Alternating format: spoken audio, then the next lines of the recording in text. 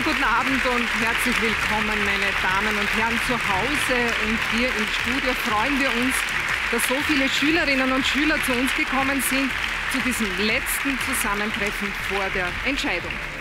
Die Spitzenkandidatinnen und Spitzenkandidaten haben sich in diesem Wahlkampf ja noch kaum gesehen. Äh, wir begrüßen deshalb ganz herzlich hier bei uns im Studio. Werner Kogler, Die Grünen. Beate Meindl-Reisinger, NEOS. Guten Abend. Pamela Rendi-Wagner, SPÖ. Sebastian Kurz, ÖVP. Norbert Hofer, FPÖ. Und Peter Pilz, jetzt. Vielleicht erinnern Sie sich noch an dieses Goldfischglas, das wir am Ende der Duelle vergangene Woche gezeigt haben und gesagt haben, am Sonntag werden ja Wahlkarten in die Urne geworfen, aber wir werden dieses Mal Sie bitten, eine Wahlkarte aus diesem Gefäß zu ziehen. Wir beginnen von links nach rechts bei Ihnen, Herr Kogler. Es wird ein Name einer Mitbewerberin, eines Mitbewerbers oben stehen. Sie zeigen sie bitte jeweils in die Kamera wen Sie gezogen haben. Wenn Sie sich selber gezogen haben, dann müssten Sie mir die wieder geben und neu ziehen. Genau, einfach auseinanderziehen und hineinzeigen. Ich sehe schon, er hat Herr Hofer gezogen. Bitte. Frau Meindl-Reisinger.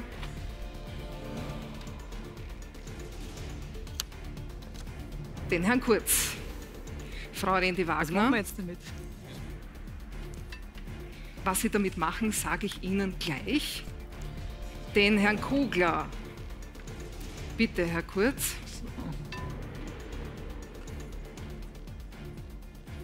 Welcher Mitbewerber steht drauf? Den Herrn Pilz. Das war Bitte sehr. Volltreffer. Aber es war Zufall oder ist Zufall. Frau Rendi Wagner für Herrn Hofer. Und jetzt bleibt natürlich nur mehr ein Name für den Herrn Pilz. So eine Überraschung. Die Frau Meindl-Reisinger. Ja, was hat es mit den Namen auf sich? Sie können am Schluss der Sendung, sodass Sie eben alle gleich viel Zeit haben, dem oder ihm oder ihr die Frage stellen, die Sie noch nie von einem Journalisten, einer Journalistin gehört haben oder einfach eine Frage, die Sie schon immer stellen wollten. Das kommt aber, wie gesagt, am Ende der Sendung. Bis dahin werden wir übrigens Ihre Redezeit sekundengenau mitstoppen. Das soll dann bis zum Ende, wenn es weiß, halbwegs ausgewogen sein. Zu Beginn möchten aber wir Sie befragen. Sie bewerben sich ja um sowas wie die wichtigsten Jobs im Land. Und man könnte sogar sagen, dass ein Wahlkampf ja nichts anderes ist als ein großes öffentliches Bewerbungsgespräch vor Ihrem künftigen Arbeitgeber, den Wählerinnen und den Wählern. Und deswegen möchten wir Ihnen zum Einstieg zwei ganz klassische Fragen aus Bewerbungsgesprächen stellen, aus denen man hm. ziemlich viel über Bewerber lernen kann. Und eine dieser Fragen, die oft sehr aufschlussreich ist, lautet, was würde uns Ihr letzter Chef über Sie sagen? Wenn wir ihn fragen würden, in Ihrem Fall natürlich Ihr letzter Parteichef, also Ihr Vorgänger oder Ihre Vorgängerin. Frau Rendi Wagner, wenn wir Christian Kern über Sie befragen würden, was würde er uns über Ihre Stärken und Schwächen sagen? Ich denke, Christian Kern hätte auf jeden Fall meine Zuverlässigkeit, meine Menschlichkeit äh, betont und äh, ich glaube, so wie er das in der Abschiedsrede am letzten Parteitag im November in Wels auch gesagt hat, äh, dass sie das Zug, äh, den Zug zum Tor hat. Und den braucht es an der Spitze einer Partei. Keine Schwächen? Sagt das ein Chef dann bei einem Bewerbungsgespräch? Naja, ich würde sagen, sie ist, ähm, glaube ich, immer neugierig und will Neues erfahren, ist vielleicht etwas ungeduldig manchmal, weil ja manche Dinge zu langsam gehen. Das wären die Schwächen, die er vielleicht erwähnen würde.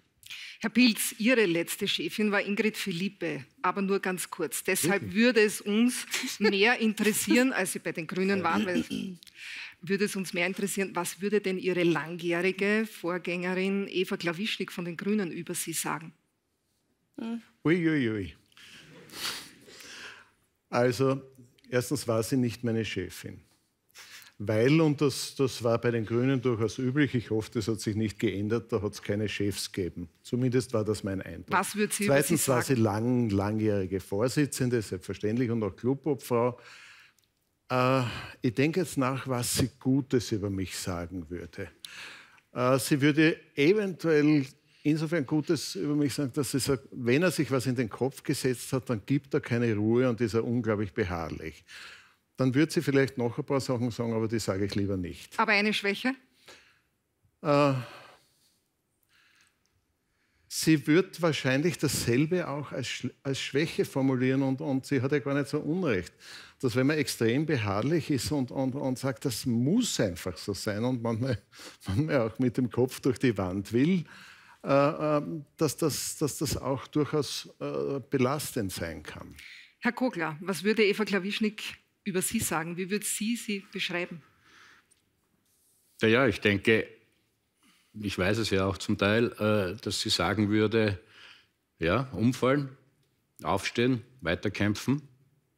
Das ist ja nicht die schlechteste Eigenschaft. Die Bewegung zurück zu den Grünen organisieren, Wiederaufbau. Ja. Schwäche? Come Comeback gelungen, hoffentlich.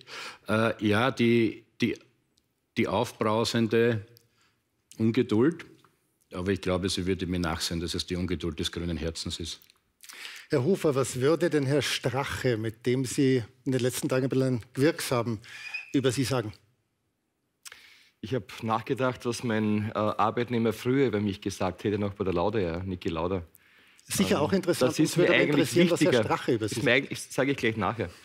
Also ich weiß noch, damals bei der Lauda habe, haben wir Tage gehabt, haben wir 36 Stunden durchgearbeitet. Das, die Finger sind angefroren am Triebwerk. Ähm, es war eine schöne Aufgabe. Was Strache äh, sagen würde, weiß ich nicht. Ja. Ähm, ich glaube, dass er in diesen Stunden andere Sorgen hat. Müssen wir wohl dabei lassen? Hm. Frau Meindl-Reisinger, ich möchte nur zuerst auch sagen, dass wir natürlich eine elektronische Zeitmessung haben, damit wir die Redezeit während der gesamten Sendezeit auch fair, so fair wie möglich verteilen. Frau Meindl-Reisinger, Sie haben Matthias Stolzberg, was würde denn off the records über Sie sagen? Naja, on the records hat er ja sehr viel gesagt, wie Sie ja wissen. Das ist ja auch nachzuhören. Er hat mich als Löwin bezeichnet. Ähm, und das sehe ich in zweierlei Hinsicht. Einerseits, die wirklich ähm, kämpft ich kämpfe für unsere Anliegen, für anständige Politik, für eine Politik der Zukunft, aber auch die aufs Rudel schaut. also das heißt, die, der der Zusammenhalt und auch die, die, das Teamplay sehr wichtig ist und das Rudel verteidigt gegen böse Feinde von außen. Also das hat er ja gesagt. Was würde er auf der Record sagen? Also ich glaube, diese aufbrausende Ungeduld würde er mir auch konstatieren. Und er würde wahrscheinlich äh, auch berichten können, dass wenn ich von einer Sache wirklich überzeugt bin, es auch sehr leidenschaftlich gerne ausdiskutiere. Herr Kurz, Ihr Vorgänger als Parteichef hat ja gleich ein ganzes Buch über äh, Sie geschrieben. Das können wir jetzt nicht vorlesen, aber wie würden Sie denn zusammenfassen, was Reinhold Mitterlehner über Sie sagen würde? Also ich glaube, der Reinhold Mitterlehner wird nichts Gutes bis wenig Gutes über mich sagen. Wenn man dann ein bisschen weiter zurückgeht, der Sepp Röll und der Michael Spindelecker würden wahrscheinlich sagen, dass ich jemand bin, der Menschen wirklich mag.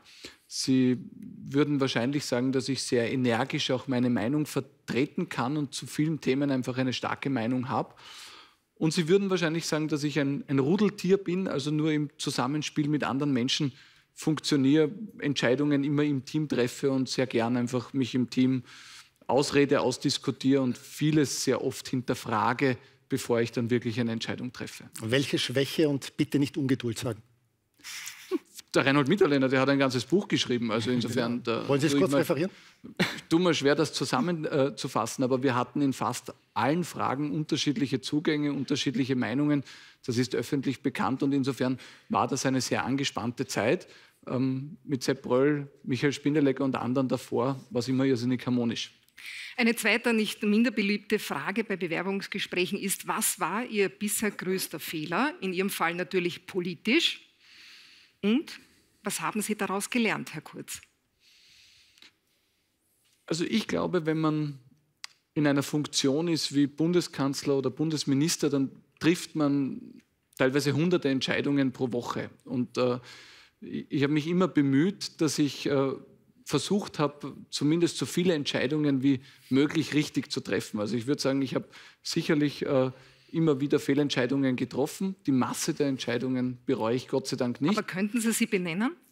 Naja, ich glaube, was für mich ein langer Lernprozess war, war, mich nicht abhängig zu machen von Medienberichterstattung oder anderem. Also ich habe als Staatssekretär am Anfang, vor acht Jahren, als ich in die Regierung gekommen bin, irrsinnig darunter gelitten, wie negativ die Medien war, wie negativ die Meinungsforschung war, wie negativ auch die Rückmeldung in der Bevölkerung war. Und es war ein gewisser Lernprozess, dass man sowas einfach aushalten muss ähm, und dass man nicht zu sehr darauf schauen sollte. Also der größte Fehler, glaube ich, war am Anfang, darauf ständig zu schauen und zu glauben, dass das relevant ist. Man könnte jetzt sagen, Fernsehen und Zeitung lesen war ein Fehler.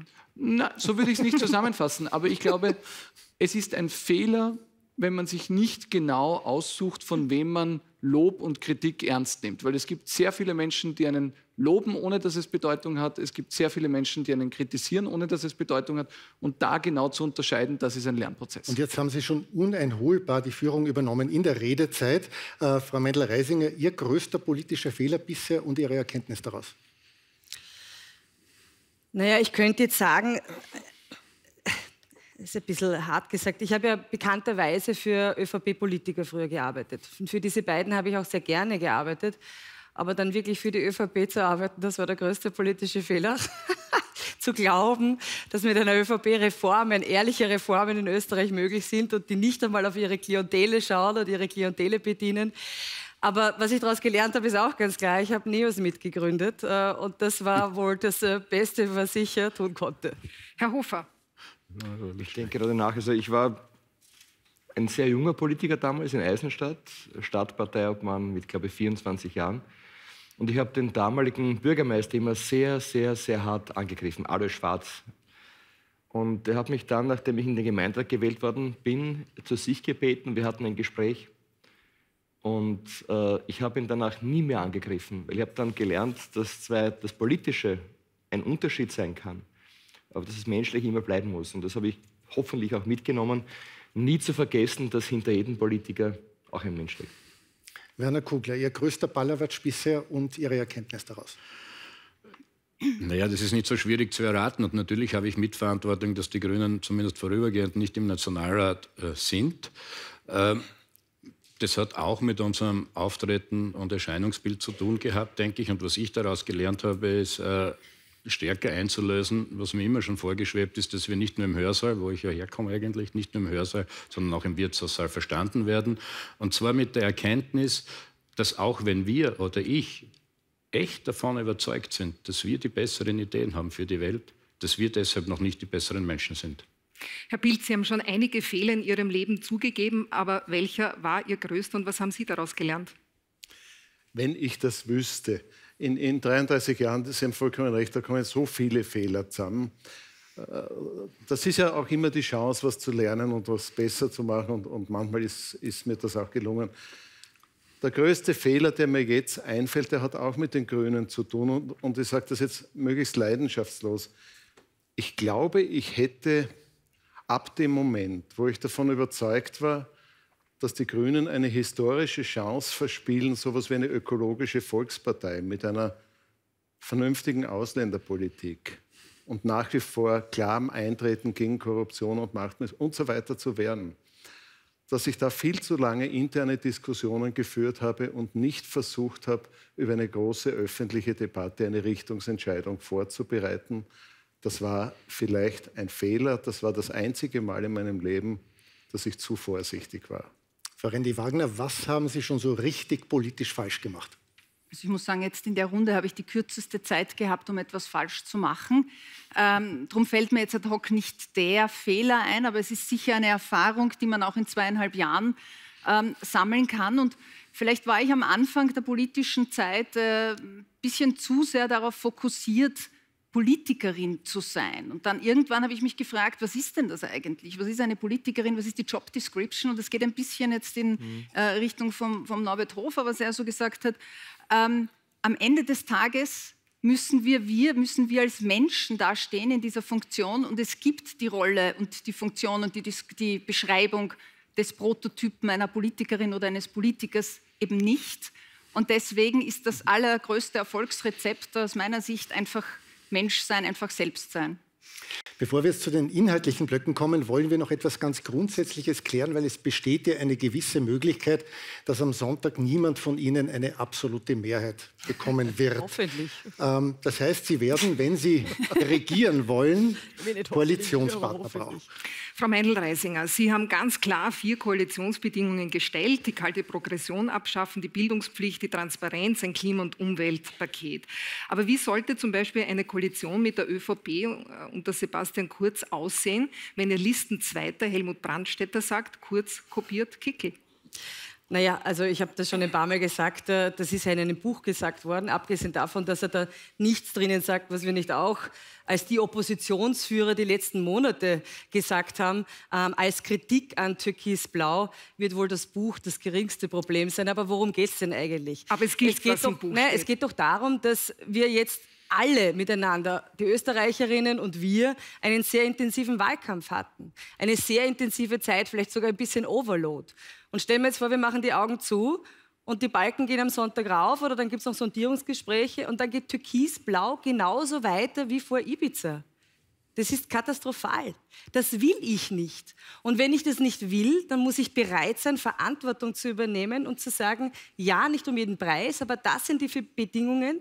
Wir brauchen eine anständige, zukunftsorientierte Alternative, damit wir in eine gute Richtung in unserem Land gehen. Herr Kogler, Knack, der Knackpunkt in einer allfälligen schwarz-grünen Koalition wäre ohne Zweifel die Migration. Wie würden Sie da mit Sebastian Kurz und der ÖVP auf eine Linie kommen? Äh, wie würden Sie die Wiener Grünen ins Boot holen, nachdem die auch nächstes Jahr Wahlen haben? Ja, also von hinten nach vorn. Äh, es war ja schon im Jahr 2003 ein Unding dauernd zu behaupten, aber das ist die Deutungsmacht der Größeren, dass die Wiener Grünen nicht dafür verantwortlich gewesen wären, dass es keine schwarz-grüne Koalition gegeben hätte. Das war schon der Wolfgang Schüssel, der nicht einmal einen einzigen Abfangjäger abbestellen wollte, äh, wo er das Schmiergeld schon an den Flügeln geklebt hat. Ja, aber ich war damals selber beteiligt. Das waren ja meine ersten politischen Taten, zu sagen, okay, da stellen wir, mit, äh, da stellen wir auf, so geht das nicht weiter. Daran kann man ja einiges erkennen. Und was die äh, jetzige türkise ÖVP betrifft, wird es wahrscheinlich notwendig sein, dass die wieder ein paar Bibelstellen hervorkramen, die sie vom Weg auf Schwarz Gut, Vielleicht habe ich meine Frage haben. zu wenig konkret. ich wollte jetzt wirklich, dass Sie auf die Wiener Grünen ein, ein, eingehen. Ja. Wie Sie die ins Boot holen würden beim Thema Migration. Ja, Entschuldigung, die Wiener Grünen sind Teil der österreichischen Grünen. Ich sehe da überhaupt kein Problem. Ich sehe das Problem eher bei einer äh, ÖVP, die ihre christlichen Wurzeln verloren hat. Und wir brauchen natürlich äh, Menschenrechte äh, und Menschenwürde, äh, zumindest in einem, in einem, Mindeststellenwert. Im Übrigen füge ich hinzu, äh, dass mindestens so sehr die Frage der Umkehr ähm, dieser Türkisen, ja, was die, die ökosoziale Marktwirtschaft betrifft und den Klimaschutz, dass das genauso wichtig sein wird, weil dort äh, sehe ich sie gerade auch nicht. Wir haben gerade erlebt, dass in dieser türkisblauen Regierung äh, Unterlassungstäter und Klimawandelleugner fuhrwerken. Also da haben wir anständig zu tun, aber es ist ja nie zu spät zur Umkehr. Herr Hofer, Sie haben als zentrale Punkte für eine künftige Koalition mit der ÖVP, alles andere haben Sie ja ausgeschlossen genannt, Ausbau der direkten Demokratie, mehr Budget fürs Bundesheer und das Innenministerium. Aber viel grundsätzlicher müsste man doch fragen, die FPÖ war bisher viermal an einer Bundesregierung beteiligt. Jedes Mal ist diese Koalition lange, lange vorzeitig in die Luft geflogen, und zwar jedes Mal wegen der Freiheitlichen. Warum sollte es in einer neuen Koalition anders sein, noch dazu, wo die Herren Strache und Kickel nicht in der Regierung sitzen würden? Also man könnte genauso sagen, die letzten Regierungen sind an der ÖVP gescheitert. Ich glaube, dass es Sie falsch sind ausgezogen. Ich glaube, dass es falsch ist. Ich kann nur sagen, ich stehe zur Wahl. Und jeder, der mich kennt, und ich glaube, viele Leute kennen mich auch äh, seit sehr vielen, vielen Jahren, weiß, äh, dass ähm, es mir ein echtes Anliegen ist, gute Politik zu machen. Und wenn ich die Verantwortung trage in dieser Partei und wenn wir zu einer Koalition kommen, dann wird diese Regierung fünf Jahre halten. Wenn wir in Opposition sind, dann ist es eine andere Sache. Aber ähm, mir ist es wirklich ein großes Anliegen, dass es funktioniert. Interessanterweise hat Herr Strache ja 2017 nach den Koalitionsverhandlungen in unserem gemeinsamen Interview genau das Gleiche ja, gesagt. Sie haben schon recht. Er hat gesagt, neue Leute, es wird ja, ganz anders sein. Es war recht. nicht anders. Jetzt prüft die Wiener FPÖ und die Staatsanwaltschaft äh, seit zwei Wochen die Spesen von Herrn Strache. Gibt es da schon Erkenntnisse? Die Erkenntnisse werden nächste Woche vorliegen. Äh, wir werden diese Erkenntnisse. Na, also, es tut mir leid, dass es, es sind viele Belege, die zu prüfen sind. Aber wir werden, wir werden alles der Öffentlichkeit bekannt geben und ich habe äh, mir vorgenommen, dass wenn ich diese Partei führe, ähm, dass es maximale Transparenz geben wird und ähm, dass diese Partei eine andere werden wird. Es gibt noch mir. gar keine Zwischenerkenntnisse aus Ihrer zweiwöchigen Prüfung? Es gibt Zwischenerkenntnisse, aber bitte erlauben Sie mir, dass ich das Ergebnis nächste Woche bekannt gebe. Sollte sich herausstellen, dass Herr Strache Spesen nicht korrekt abgerechnet hat, werden Sie ihn dann aus der FPÖ ausschließen? Wer auch immer äh, Dinge äh, nicht korrekt abrechnet, hat die Konsequenzen zu ziehen. Die Konsequenz wäre ein Ausschluss? Die Konsequenzen werden wir im Vorstand besprechen, aber die Frage ist ja, äh, wurde etwas falsch abgerechnet aus einem Versehen oder gab es ähm, einen bewussten Vorgang? Und ich bin keiner, der hier sehr sanft vorgeht, wenn es notwendig ist. Frau Rendi-Wagner, Sie haben beim Zwölf-Stunden-Arbeitstag Ihren Sozialsprecher Josef Muchitsch zurückgepfiffen. Man könnte jetzt sagen, wenn Sie in Koalitionsverhandlungen gehen, dann machen Sie das bedingungslos. Aber selbst wenn Sie sich inhaltlich einigen würden, angenommen mit der ÖVP, nach dem, was wir gesehen haben von Ihnen beiden, von Ihnen von, mit, mit Sebastian Kurz, würden Sie tatsächlich, ist es vorstellbar, die Vizekanzlerin neben Sebastian Kurz machen? Also ich glaube, dass das Fernsehstudio jetzt nicht der geeignete Zeitpunkt ist, um eine vorgezogene Koalitions- oder Sondierungsgesprächssituation äh, Das kann sein, Frau Rende, aber natürlich schauen wahnsinnig ähm, viele Menschen unter Umständen eine Million zu. Natürlich ja, aber wir haben, haben die Wählerinnen Tage, und Wähler wollen das wissen, nicht na wir. Klar, alles, alles klar, aber wir haben drei Tage bis zu einer Wahl und ich äh, denke, es ist relativ respekt oder sehr respektlos, jetzt ein Wahlergebnis vom Sonntag vorwegzunehmen. Also mir ist wichtig, schon abzuwarten, was der Sonntag bringt. Dann liegt es am Bundespräsidenten zu sagen, die, nehme an, die stimmenstärkste Partei bekommt den Auftrag, so ist das ja, für Sondierungsgespräche und dann wird es die, das eine, das andere oder mehrere Gespräche geben. Aber weil Sie sagen bedingungslos, bedingungslos ist gar nichts, natürlich nicht. Also Sie haben den Zwölf-Stunden-Tag erwähnt, die Rechte der Arbeitnehmerinnen und Arbeitnehmer. Das ist ein ganz wichtiger Punkt in unserer Politik und das wird ein ganz wichtiger Punkt in jeglichen Gesprächen, sofern wir eingeladen werden oder diese führen werden, sein. Genauso gut wie Schließen der Lohnschere zwischen Männern und gut, Frauen. Aber beim Zwölf-Stunden-Tag wäre das jetzt, gegen die Klimakrise Wäre das jetzt Punkt noch ist. einmal vielleicht ein Schritt retour, nur damit Sie es konkretisieren, heißt das, Teile des Zwölf-Stunden-Arbeitstages müssen zurückgenommen werden? Ich sage Ihnen, dass das Thema haben wir ja schon inhaltlich sehr in den letzten Wochen inhaltlich sehr viel diskutiert. So wie es jetzt ist, ist es für mich nicht tragbar und tolerierbar. Aber das ist äh, einer von vielen wichtigen Punkten, für die ich kämpfen werde, jetzt erstens um Vertrauen bis zum Wahltag und danach sollten wir in Gespräche sein, um diese durchzusetzen. Und ich kann umso mehr dieser Punkte durchsetzen, die mir wichtig sind, je mehr Wählerstimmen äh, wir am 29. bekommen. Herr Kurz, Sie haben hier im Studio gesagt bei einem TV-Duell, Sie wollen weiter eine ordentliche Mitte-Rechtspolitik mit konsequenter Migrationspolitik und Steuersenkungen machen. Sie haben aber auch gesagt in diesem Wahlkampf, die SPÖ will das nicht und die FPÖ kann es nicht. Und jetzt haben Sie in den letzten Tagen auffällig oft über die Möglichkeit einer Minderheitsregierung gesprochen. Das gab es in Österreich erst einmal, nämlich unter Bruno Kreisky ganz am Anfang. Da hatte die SPÖ aber mehr als 48 Prozent. Die werden Sie wahrscheinlich nicht erreichen. Wäre eine Minderheitsregierung bei einem Wahlergebnis unter 40 Prozent auch realistisch und wie soll das fünf Jahre halten? Also eine Minderheitsregierung ist kein Ziel, aber es kann natürlich nach der Wahl unterschiedliche Konstellationen und Herausforderungen geben. Ich bin da in diesem Punkt einmal bei dem, was äh, Pamela Rendi-Wagner gesagt hat. Ich halte es für nicht respektvoll den Wählern gegenüber, so zu tun, als wäre diese Wahl entschieden. Meinungsforschung ist ungenau. Wir haben sehr viel an Themen, äh, an Enthüllungen in den letzten Tagen gehabt. Niemand weiß, wie diese Wahl ausgeht. Und unser Ziel ist daher, dass wir nicht nur Erster werden, sondern dass es auch keine Mehrheit gegen uns gibt. Wir haben erlebt im Mai, dass eine rot-blaue Mehrheit gemeinsam mit Peter Pilz mich und die Bundesregierung abgewählt hat. Ich glaube, wenn es eine Mehrheit links der Mitte gäbe, rot-grün, eventuell mit den Neos, dann ist wahrscheinlich Pamela Rendi-Wagner Bundeskanzlerin und nicht ich. Und insofern ist unser Ziel, stärkste Kraft werden. Sollten wir das Vertrauen der Menschen bekommen, dann würden wir mit allen Gespräche führen und dann würde ich versuchen, ja, mit dem Vertrauen verantwortungsvoll umzugehen und eine Regierung zu bilden, die stabil ist. Wenn das nicht gelingt, dann ist Herr Wolf natürlich eine Minderheitsregierung eine Option. Herr Pilz, Sie haben eine Koalition klar ausgeschlossen. Warum sollte man eigentlich eine Partei wählen, die nicht regieren will und bei allen repräsentativen Umfragen auf ein bis zwei Prozent kommt? Na, erstens hat sich da was zum Glück geändert, sonst, sonst würde ich jetzt tieftraurig dastehen. Äh, die letzte wirklich große und von niemandem finanzierte wissenschaftliche Umfrage vom Institut für Grundlagenforschung, die auch von den Salzburger Nachrichten publiziert worden ist, hat uns bei 3,4 Prozent Rohdaten. Sora im Auftrag des ORF sagt, 17 Uhr am Sonntag wird man wahrscheinlich nicht genau wissen, ob wir drin sind. Und das stimmt ja auch. Und Sie haben auch vollkommen recht. Die sind alle drin, auch die Grünen. Bei uns ist es noch nicht klar. Es wird sehr, sehr knapp, soweit ich das derzeit beurteilen kann. Warum soll man uns wählen? Ich mache mir es jetzt ganz einfach. Deswegen. Und deswegen. Das sind die beiden Hauptgründe, warum man uns wählen soll. Und der Hauptgrund ist politisch ganz einfach. Schauen Sie, in den 33 Jahren, in denen ich Abgeordneter bin und war, hat es noch nie eine Situation gegeben, wo bereits vor der Wahl der Bundeskanzler feststeht.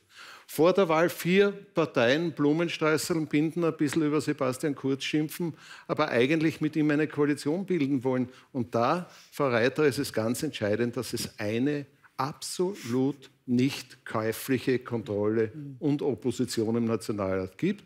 Und die einzige nicht käufliche und hochprofessionelle also, Kontrolle. Entschuldigung. Das, das glaube ich, das sind wir.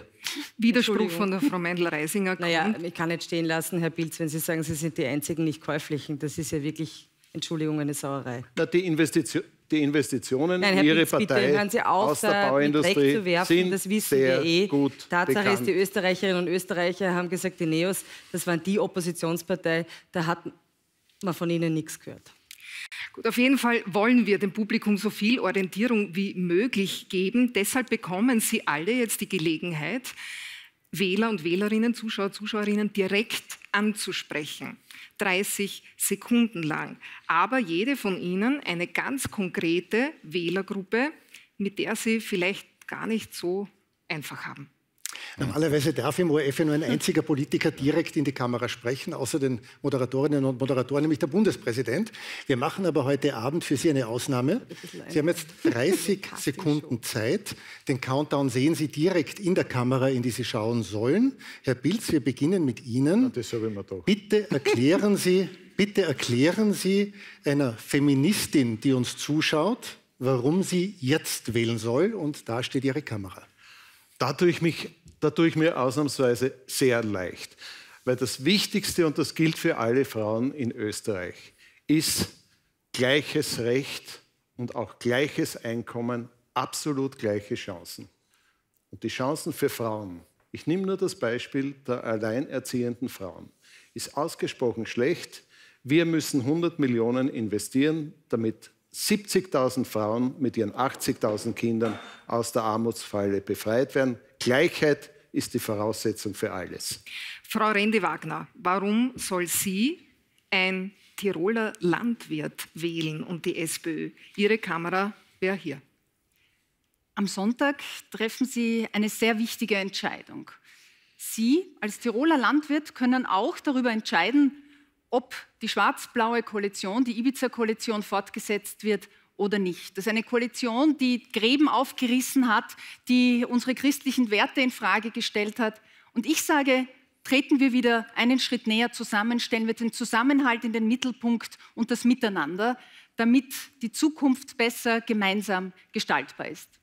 Zeitmäßig eine Punktlandung. Herr Kugler, wie überzeugen Sie denn einen Lkw-Fahrer davon, dass er ausgerechnet den Grünen seine Stimme geben soll? Ihre Kamera.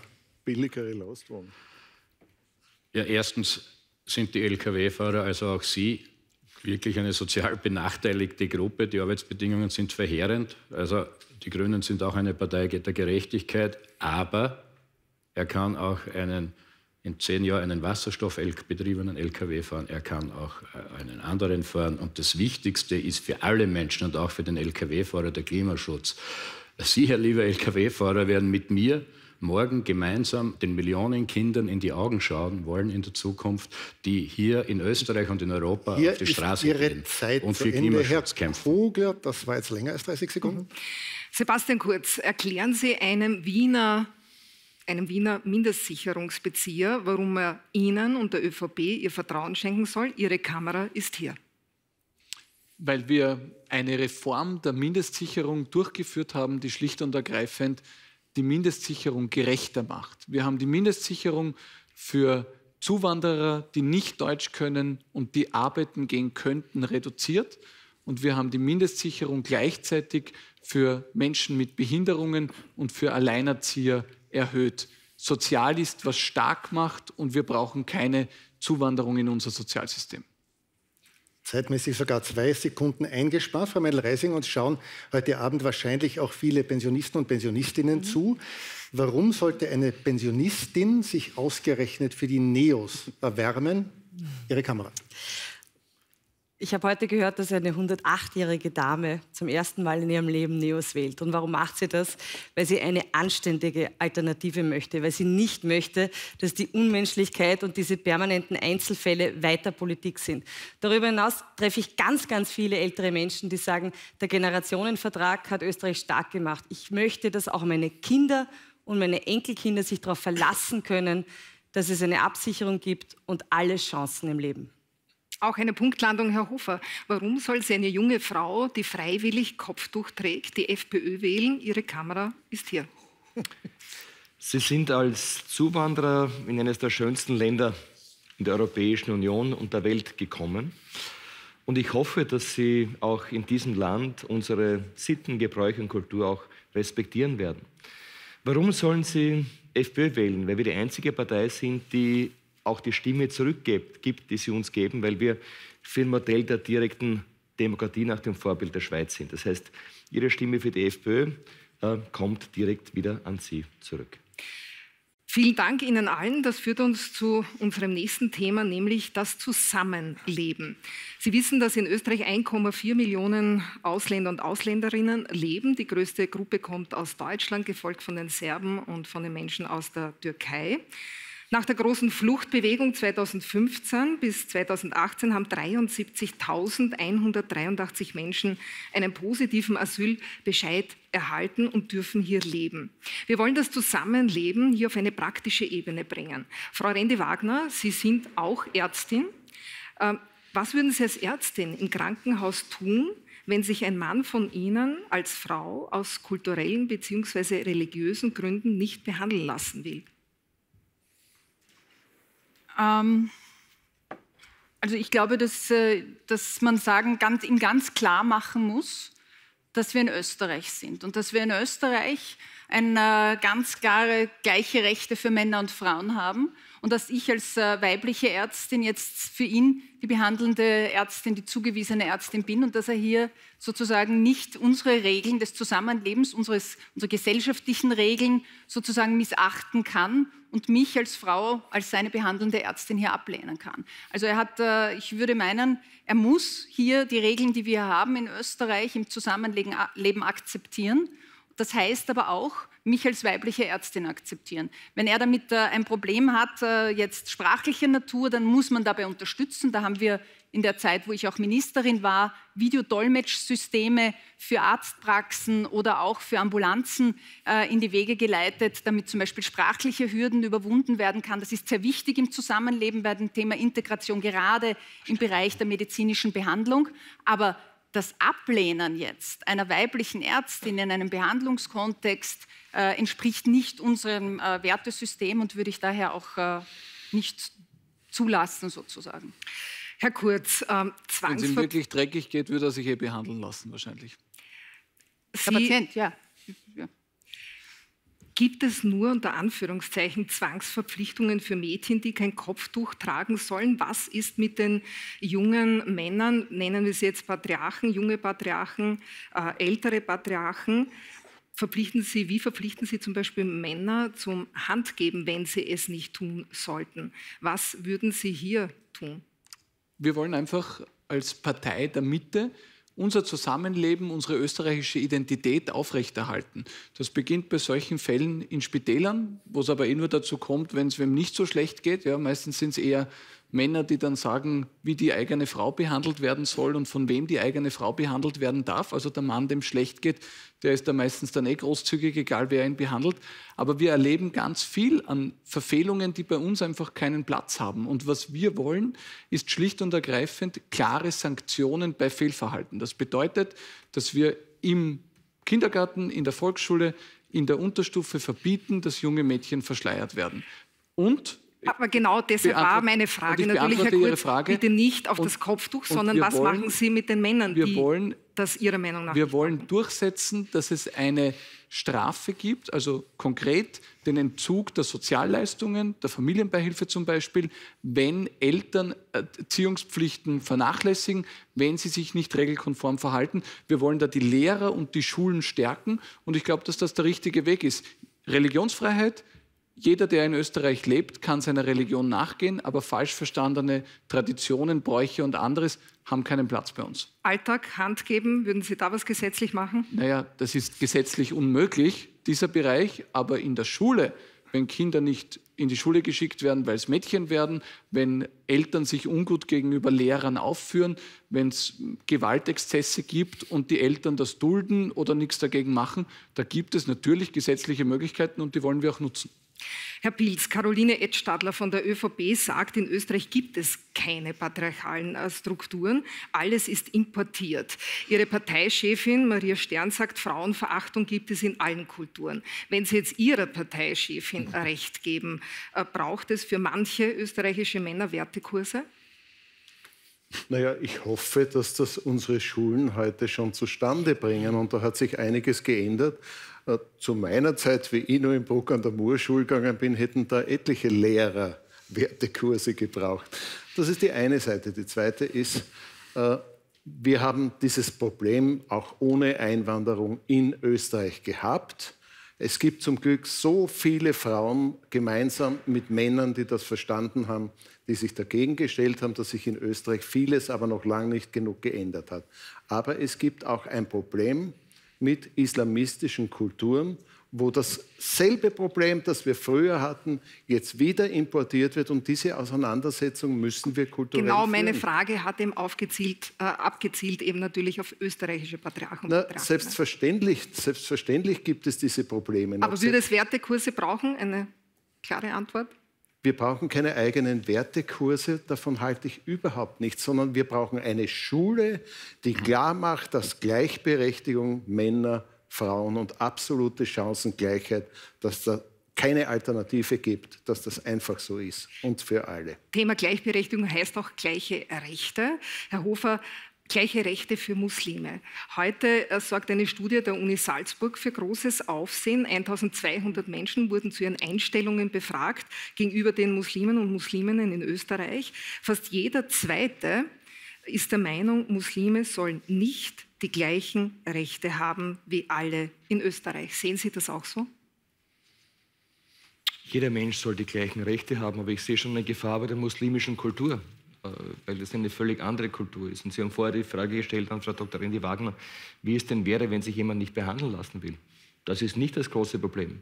Wir haben heute Probleme, wo Menschen in Krankenhäusern andere Menschen mit dem Messer attackieren, töten, äh, wo Krankenschwestern und Ärzte wirklich Angst haben, auch dort zu arbeiten. Und daher, daher sage ich auch völlig klar, dass äh, jemand, der sich äh, aus einer falschen Einstellung heraus, egal ob religiös bedingt oder aus einem anderen Grund, nicht integrieren will in Österreich, äh, gut daran täte, dieses Land wieder zu verlassen. Der Studienautor Wolfgang Aschauer hat gemeint, äh, dass hier durch diesen Diskurs, der geführt wird, durch die Diskussionen über Muslime und Musliminnen in Österreich, in Ungarn, er hat auch ein zweites Land äh, genannt, die Fremdenfeindlichkeit gegenüber muslimischen Bürgerinnen und Bürgern steigt. Was würden Sie denn gegen diese Fremdenfeindlichkeit tun? Also ich glaube, dass ähm, die Menschen, die nach Österreich kommen, ähm, dass es sehr viele gibt, die hier die Leistung bringen wollen, die dieses Land lieben und dass es andere gibt, die dieses Land und die Kultur nicht schätzen. Und äh, daher verstehe ich, dass manche Menschen Sorgen haben, dass äh, bei uns äh, es auch Gruppen gibt, die in der zweiten, dritten Generation weniger Österreicher sind als ihre Eltern und Großeltern. Aber was würden Sie gegen Fremdenfeindlichkeit gegenüber Muslimen und Muslimen tun? Also ich glaube, dass die Muslime in Österreich selbst einen Beitrag leisten müssen, äh, um äh, in Österreich anzukommen und nicht die Politik gefordert ist, um etwas dagegen und zu dann tun. gibt es Ihrer Meinung nach keine Fremdenfeindlichkeit mehr. Gut, auch eine klare Antwort. Frau Meindl-Reisinger, NEOS wollen nicht nur ein Ranking der besten 500 äh, Schulen, sondern auch der schlechtesten Schulen. Stigmatisiert man da nicht äh, Schülerinnen, Schüler, Lehrer, auch die Eltern eigentlich? Kann der Transparenz nicht in die Hose gehen? Nein, ganz im Gegenteil. Wir brauchen diese Transparenz und es geht ja nicht ums Ranking. Es geht darum, dass äh, wir die Brennpunktschulen zu den besten Schulen Österreichs machen wollen. Und da hat London gezeigt, wie das geht. Und da muss man der Wahrheit ins Auge schauen und sagen, was sind die Ergebnisse einer Schule? Und wenn die Ergebnisse nicht gut genug sind, dann sage ich, dort schicke ich die besten Lehrerinnen und Lehrer hin, die besten Direktorinnen und Direktoren und messe dann auch die Ergebnisse. London hat es so geschafft, aus den schwierigsten Schulen Top-Schulen zu machen, die stolz darauf sind, dass ein ganz großer Teil ihrer Schülerinnen und Schüler dann auf eine tolle Universität gehen. Wir schauen derzeit weg und wir lassen hier Kinder zurück und geben uns damit zufrieden, dass äh, wir diese Schulen haben, die dann als Brennpunktschulen bezeichnet werden. Und da sagen wir NEOS ganz klar, wir wollen die zu den besten Schulen machen. Das geht aber nur mit Transparenz und Messbarkeit. Das ist die eine Sache. Und die andere Sache ist auch, dass die Schulen voneinander lernen können. Und auch daher brauche ich diese Transparenz und Vergleichbarkeit. Und ich habe diesen Vorschlag letzte Woche Sonntag ja auch gemacht und habe gesehen, dass da insbesondere leider auch von grüner Seite sehr viel Kritik kommt. Ich möchte sagen, dass gerade auch die Arbeiterkammer dieses System dieser ähm, London Schul Challenge wirklich gelobt hat, als wirklich ein Modell, das wir in Österreich verwirklichen können, um endlich nach vorne zu kommen in der Bildung und die beste Bildung für alle Kinder zu ermöglichen. Gut, ist natürlich klar, dass Sie die nennen, die das äh, gut finden. Es gibt aber auch Experten und Expertinnen, die das eben nicht gut finden, weil was sollen dann eben die schlechten Schulen machen? Herr Kogler, an Sie eine Frage. Darf ich Sie ganz kurz äh, korrigieren? Ich glaube, ich habe keine Expertin und keinen Experten gehört, der sich gegen dieses Modell der London Schulchallenge ausspricht. Ich brauche dafür aber Transparenz. Ich kann nicht wissen, was die Schulen sind, wo wir Handlungsbedarf sind. Ich sage jetzt nur, wenn ich wenn, sage, die man könnte jetzt sagen, wir weiter nicht beobachtet also werden. Konrad Paul Lissmann hat äh, diskutiert mit Helmut Brandstätter über diese Frage. Er ist ein Philosoph, aber eben in Bildungsfragen auch kompetent. Vielleicht äh, nehmen Sie ihn auch als Experten. Herr Kogler, die Grünen sind stolz auf ihren Ruf als Menschenrechtspartei, aber der Eindruck, der entsteht, Sie schauen beim Thema Gleichberechtigung hierzulande ganz genau bis zur gendergerechten Sprache. Man könnte sagen, bei den Österreichern streng, bei den Ausländern tolerant. Haben die Grünen bei den Frauenrechten von Flüchtlingen und Zuwanderinnen viel zu lange weggesehen? Das denke ich nicht. Ich glaube, äh, was diese aufgeworfene Frage äh, der gendergerechten Sprache betrifft, möchte ich schon darauf hinweisen. Ich weiß, dass da einen Backlash gibt in letzter Zeit, aber auch als Mann, es ist eben ein Unterschied, wie man sich ausdrückt und äh, wie Frauen angesprochen werden. Das ist einmal das eine. Und das werde ich auch weiter verteidigen. Das, das Zweite ist, ja, mag sein, dass äh, die Grünen äh, ein Image bekommen haben. Wir sind ja selber dafür verantwortlich, wenn wir dem nicht widersprechen, was ich hiermit tun möchte. Was äh, tatsächlich, äh, tatsächlich die Lösung der Frage, die Sie aufwerfen, das ist ja objektiv ein Problem, ist, da kann es ja nicht immer nur um Kopftuchverbot gehen und äh, dann äh, bei jedem Problem, was auftaucht, schreit irgendwer Kopftuchverbot, wenn Türkisblau irgendwas anstellt. Nein, es geht ja immer um die Ertüchtigung und die, die, die Selbstermächtigung der Frauen. Natürlich auch, äh, natürlich auch äh, bei den Migrantinnen, ist überhaupt keine Frage. Das ist unser Ansatz. Also ich würde das ehrlich gesagt fast ein bisschen zurückweisen. Aber Sie geben zu, dass ich die Grünen da lange weggesehen haben? Nein, nicht? gar nicht. Ich sage, wir lassen uns immer Image drauf dividieren, was nicht zutreffend ist. Bitte. An dieser Stelle sollten wir vielleicht mal kurz schauen, wie wir mit der Redezeit aussehen. Wir wollen das ja möglichst ausgewogen gestalten und das scheint uns bis jetzt oder Ihnen ganz gut zu gelingen.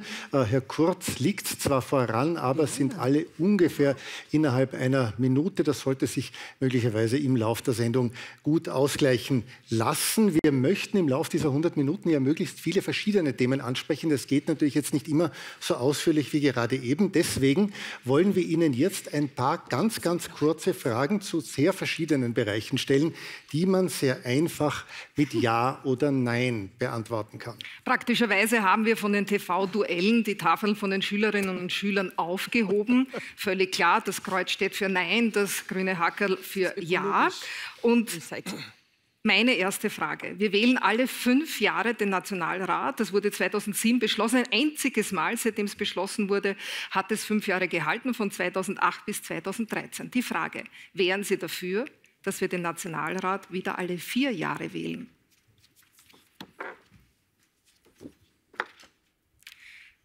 Grün, FPÖ und jetzt wären dafür. Wäre dann interessant, wie das so wäre. Gut, das wäre länger Aber jetzt. kann ich, können, soll man dazu was sagen? Weil ich meine, das Nein, Eigentlich nicht. Wir wollen, es ist eigentlich, das ist, so eine, das ist eben das Schöne, dass es so an klaren Fragen, dass man ja, nein. wir wollen es hier jetzt ja, ganz Politik flott ist halt machen. bisweilen komplexer. Aber Deswegen haben wir auch noch viel. Zeit und viele andere Themen. Nächste Frage, ganz, ganz anderes Thema. Soll es Verhütungsmittel auf Krankenschein geben? Sagt SPÖ jetzt und Grün ja und die, wie man gemeinhin sagt, eher bürgerlicheren oder konservativeren Parteien nein. Liberal bitte. Unsere nächste Frage. Soll in einer neuen Regierung das Innenministerium parteifrei besetzt werden? Frau Mendel-Reisinger sofort in die Höhe geschnellt mit Ja, Ja, Ja. Beides Herr möglich. Kurz überlegt noch. Beides Ja. möglich. Beides möglich. Interessant. Warum beides möglich? Auch beides. Kommt auf die Person an. Interessant. Ja, kommt auf die Naja, Person. die Person soll kom kompetent sein. Der kann einer Partei angehören oder unabhängig Aber nicht sein. notwendigerweise, oder? So. man Kompetent schon muss er schon sagen. notwendig Nein, nein, aber sein. nicht notwendig. Und Partei. Herr Hofer eindeutig dagegen. Niemand Parteifrei. ist parteifrei. Interessant. Nur ein Satz dazu. Ich glaube, nur Hey. für die kommende Legislaturperiode, weil da so viel schiefgegangen ist, grundsätzlich sollten dann wieder normale politische Verhandlungen gelten. Aber das Innenministerium soll sich Das einmal war jetzt schon erholen Satz. können. Soll der, nächste Frage, soll der Karfreitag ein zusätzlicher gesetzlicher Feiertag werden? Frau Rende-Wagner ganz schnell Ja, Nein, Ja, ja. Also für Nein Sebastian Kurz und Frau Oh. Mendel-Reisinger. Herr Hofer. wir würden ja einen anderen sozusagen, wir wollen tauschen. Also Interessant, aber, der Herr Hofer ist jetzt dafür. oder? Ich wäre dafür. Ja. Sie waren aber mal dagegen, oder? Wenn Nein, ich es war nicht erinnere. ganz so einfach, aber ich wäre dafür. Wer war schuld? Strache. ist in letzter Zeit an vielem schuld. ähm, So einfach. gut, äh, nächste, äh, nein, pardon. Ja. Nächste Frage hier. Soll die kalte Progression von der nächsten Regierung gestrichen werden? Das ist schön. Ja, Eine dann einheitliche Antwort zum ersten Mal. Da werden Also, wir natürlich schauen. Da ein brauchen Versuch nicht bitte. nachfragen. wie, Das viele, werden wir wie brauchen. viele haben das schon versprochen? Schön SPÖ, kurz und bündig, ÖVP. alle. Es nützt nur den FPÖ. kleinen Einkommen. Gut, das werden wir tatsächlich überprüfen. Da gibt es ja nun tatsächlich nicht sehr viele äh, Ausreden nach diesem Bekenntnis. Nächste Frage. Würden Sie sich selbst als Feminist oder Feministin bezeichnen? Herr Kurz überlegt auch noch. Ja. Also, ich weiß Herr Hofer, Aber das warum weiß man doch, oder? sind Sie kein. Feminist? Ja, Also ich glaub- gehöre, glaube ich, einer Generation an, wo Gleichberechtigung Gott sei Dank Selbstverständlichkeit ist und auch in meinem Umfeld. Also insofern, Es ist eben nicht. Also nein, Herr Hofer, warum sind Sie kein Feminist? Gleichberechtigung total wichtig, aber ich glaube, das nimmt mir niemand ab und so gibt mir der Feminist. Also ich will lieber bei der äh, Wahrheit bleiben. Eine Frage zum Schluss, bevor wir zum nächsten Thema kommen, unsere Lieblingsfrage. Haben Sie in der Politik schon mal die Unwahrheit gesagt? bei Kleinigkeiten. Ich finde, man darf. Die Frau Meidel-Reisinger überlegt, auch der Herr Kogel überlegt Also noch. nicht, wir sagen ja, Ja, im sehr oft Zweifel die ja. Und das ist dann unpopulär. Das ist weiß es nicht. Problem. Aber so, Frau Reiterer, ich finde, darf Wahrscheinlich, nicht mehr. Sie finden Ihr Tafel nicht euer, es liegt vor Ihnen. Es liegt vor Ihnen. Ja? Gut, na Moment, noch mal, bitte, noch halt, halten halt, Sie es. noch Weil natürlich schon, wenn Sie sagen ja. Also Herr Kurz, wo haben Sie einmal die Unwahrheit Ich habe gesagt? mich bei Kleinigkeiten immer wieder geirrt und äh, es hat sich nachher als falsch Eine konkrete. Immer wieder. In, ich habe äh, schon einmal falsche, eine Studie falsch zitiert, weil ich die Zahlen falsch im Kopf hatte. Ja. Herr Hofer, wann haben Sie die Unwahrheit Ja, gesagt? aber das sagt jeder, das kann jedem passieren. Ähm, bei der Bundespräsidentenwahl, ähm, als ich gesagt habe, am Anfang. Ich äh, bin mit Begeisterung ein Kandidat. Ich wurde ja ähm, überredet dazu. Herr Kochler? Ja, ich habe einmal vorsichtshalber äh, das hier mit Ja beantwortet, weil man weiß ja nie genau, niemand ist unfehlbar. Aber eins steht mir tatsächlich einfallen. Ich habe das da in einem Interview gesagt, dass äh, das ganze Jahr, da meine ich das 18er Jahr der, des Wiederaufbaus der Grünen, eigentlich eh immer recht einfach war. Äh, es war nicht immer einfach. Frau Meisel-Reisinger, haben Sie, haben Sie jetzt Ja gesagt oder nicht? Aber wie gesagt, wissentlich, aber ich habe, mir ist jetzt auch eine Sache eingefallen. Ich habe ich bin ja zurückgekommen aus der Babypause an einem Montag und am Freitag ist dann dieses Video ähm, ähm, erschienen. Und davor, dazwischen habe ich ein Interview gegeben, wo ich gesagt habe, ähm, ich werde jetzt leiser treten, ich werde es jetzt langsamer angehen, ich werde jetzt viele Abende auch zu Hause verbringen und mir mehr Zeit für die Familie nehmen. Und das war die Unwahrheit. Herr Pilz? Jetzt steht es immer mit mir herum. Ja. Ich, ich habe vor längerer Zeit einmal, da kann ich mich gut daran erinnern, über den über den Präsidenten der Wiener Wirtschaftskammer, Walter Nettig, was ebenso Negatives wie Falsches gesagt. Und er hat mich darauf aufmerksam gemacht. Und über viele andere auch. Ich habe mir das. Nachher kurz bei Ihnen hat bis jetzt alles gestimmt, was ich bedauere. Aber bleiben wir äh, bei Ihnen. Ich habe mich dann bei ihm entschuldigt und, und, und das ist sogar eine Freundschaft entstanden.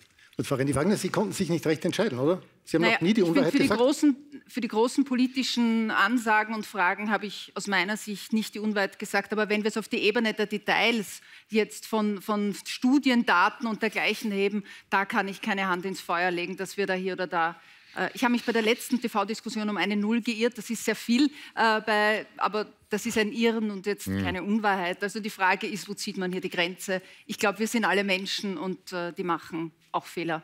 Gut, also eine Runde voller Geständnisse. Ein Thema, bei dem den Wählern und Wählerinnen möglicherweise nicht immer ganz die Wahrheit zugemutet wird, sind die Pensionen. Ja. In den nächsten 15 Jahren werden 1,9 Millionen Menschen in diesem Land in Pension gehen. Und weil wir immer länger leben, Gott sei Dank, sind die heutigen Pensionisten auch sehr viel länger im Ruhestand, als es ihre Eltern waren. Frau Meindl-Reisinger, die NEOS sind ja als einzige Partei für eine sogenannte Pensionsautomatik, also dass das Pensionsalter automatisch mit der Lebenserwartung mitsteigt. Alle anderen sind dagegen. Wissen Sie was, was die anderen nicht wissen oder liegen Sie einfach falsch? Naja, das ist genau der Bereich, den ich vorher äh, erwähnt habe, wo wir offensichtlich als Einzige die Wahrheit sagen. Und das ist zwar richtig, aber nicht immer populär.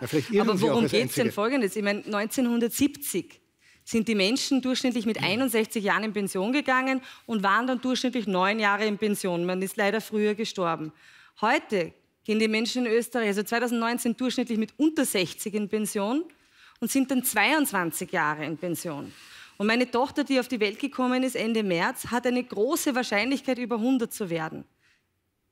Wir müssen etwas tun, ganz dringend etwas tun, wenn wir diesen starken Generationenvertrag aufrechterhalten wollen. Und ganz ehrlich, der ist gedehnt und gezerrt worden zu Lasten der jungen Menschen in den letzten Jahren und vor allem auch letzten Donnerstag, wo Beschlüsse gefasst worden sind, weil man halt äh, den Wahltag vor Augen hat, weil man halt bestimmte Wählerklientele vor Augen hat, die diesen Generationenvertrag aufkündigen und de facto auch alt gegen jung ausspielen. Ich will, dass sich nicht nur die Pensionistinnen und Pensionisten jetzt darauf verlassen können, dass sie ordentlich abgesichert sind, dass auch die Schwächsten jetzt unterstützt werden, ganz zielgerichtet, sondern auch unsere Kinder und Enkelkinder. Und ja, da ist eine wenn Möglichkeit. Das so wichtig ist, das wenn das so wichtig Modell. ist für Sie, dann fällt auf, dass diese Pensionsautomatik 2017 für die NEOS eine Koalitionsbedingung war, eine deklarierte.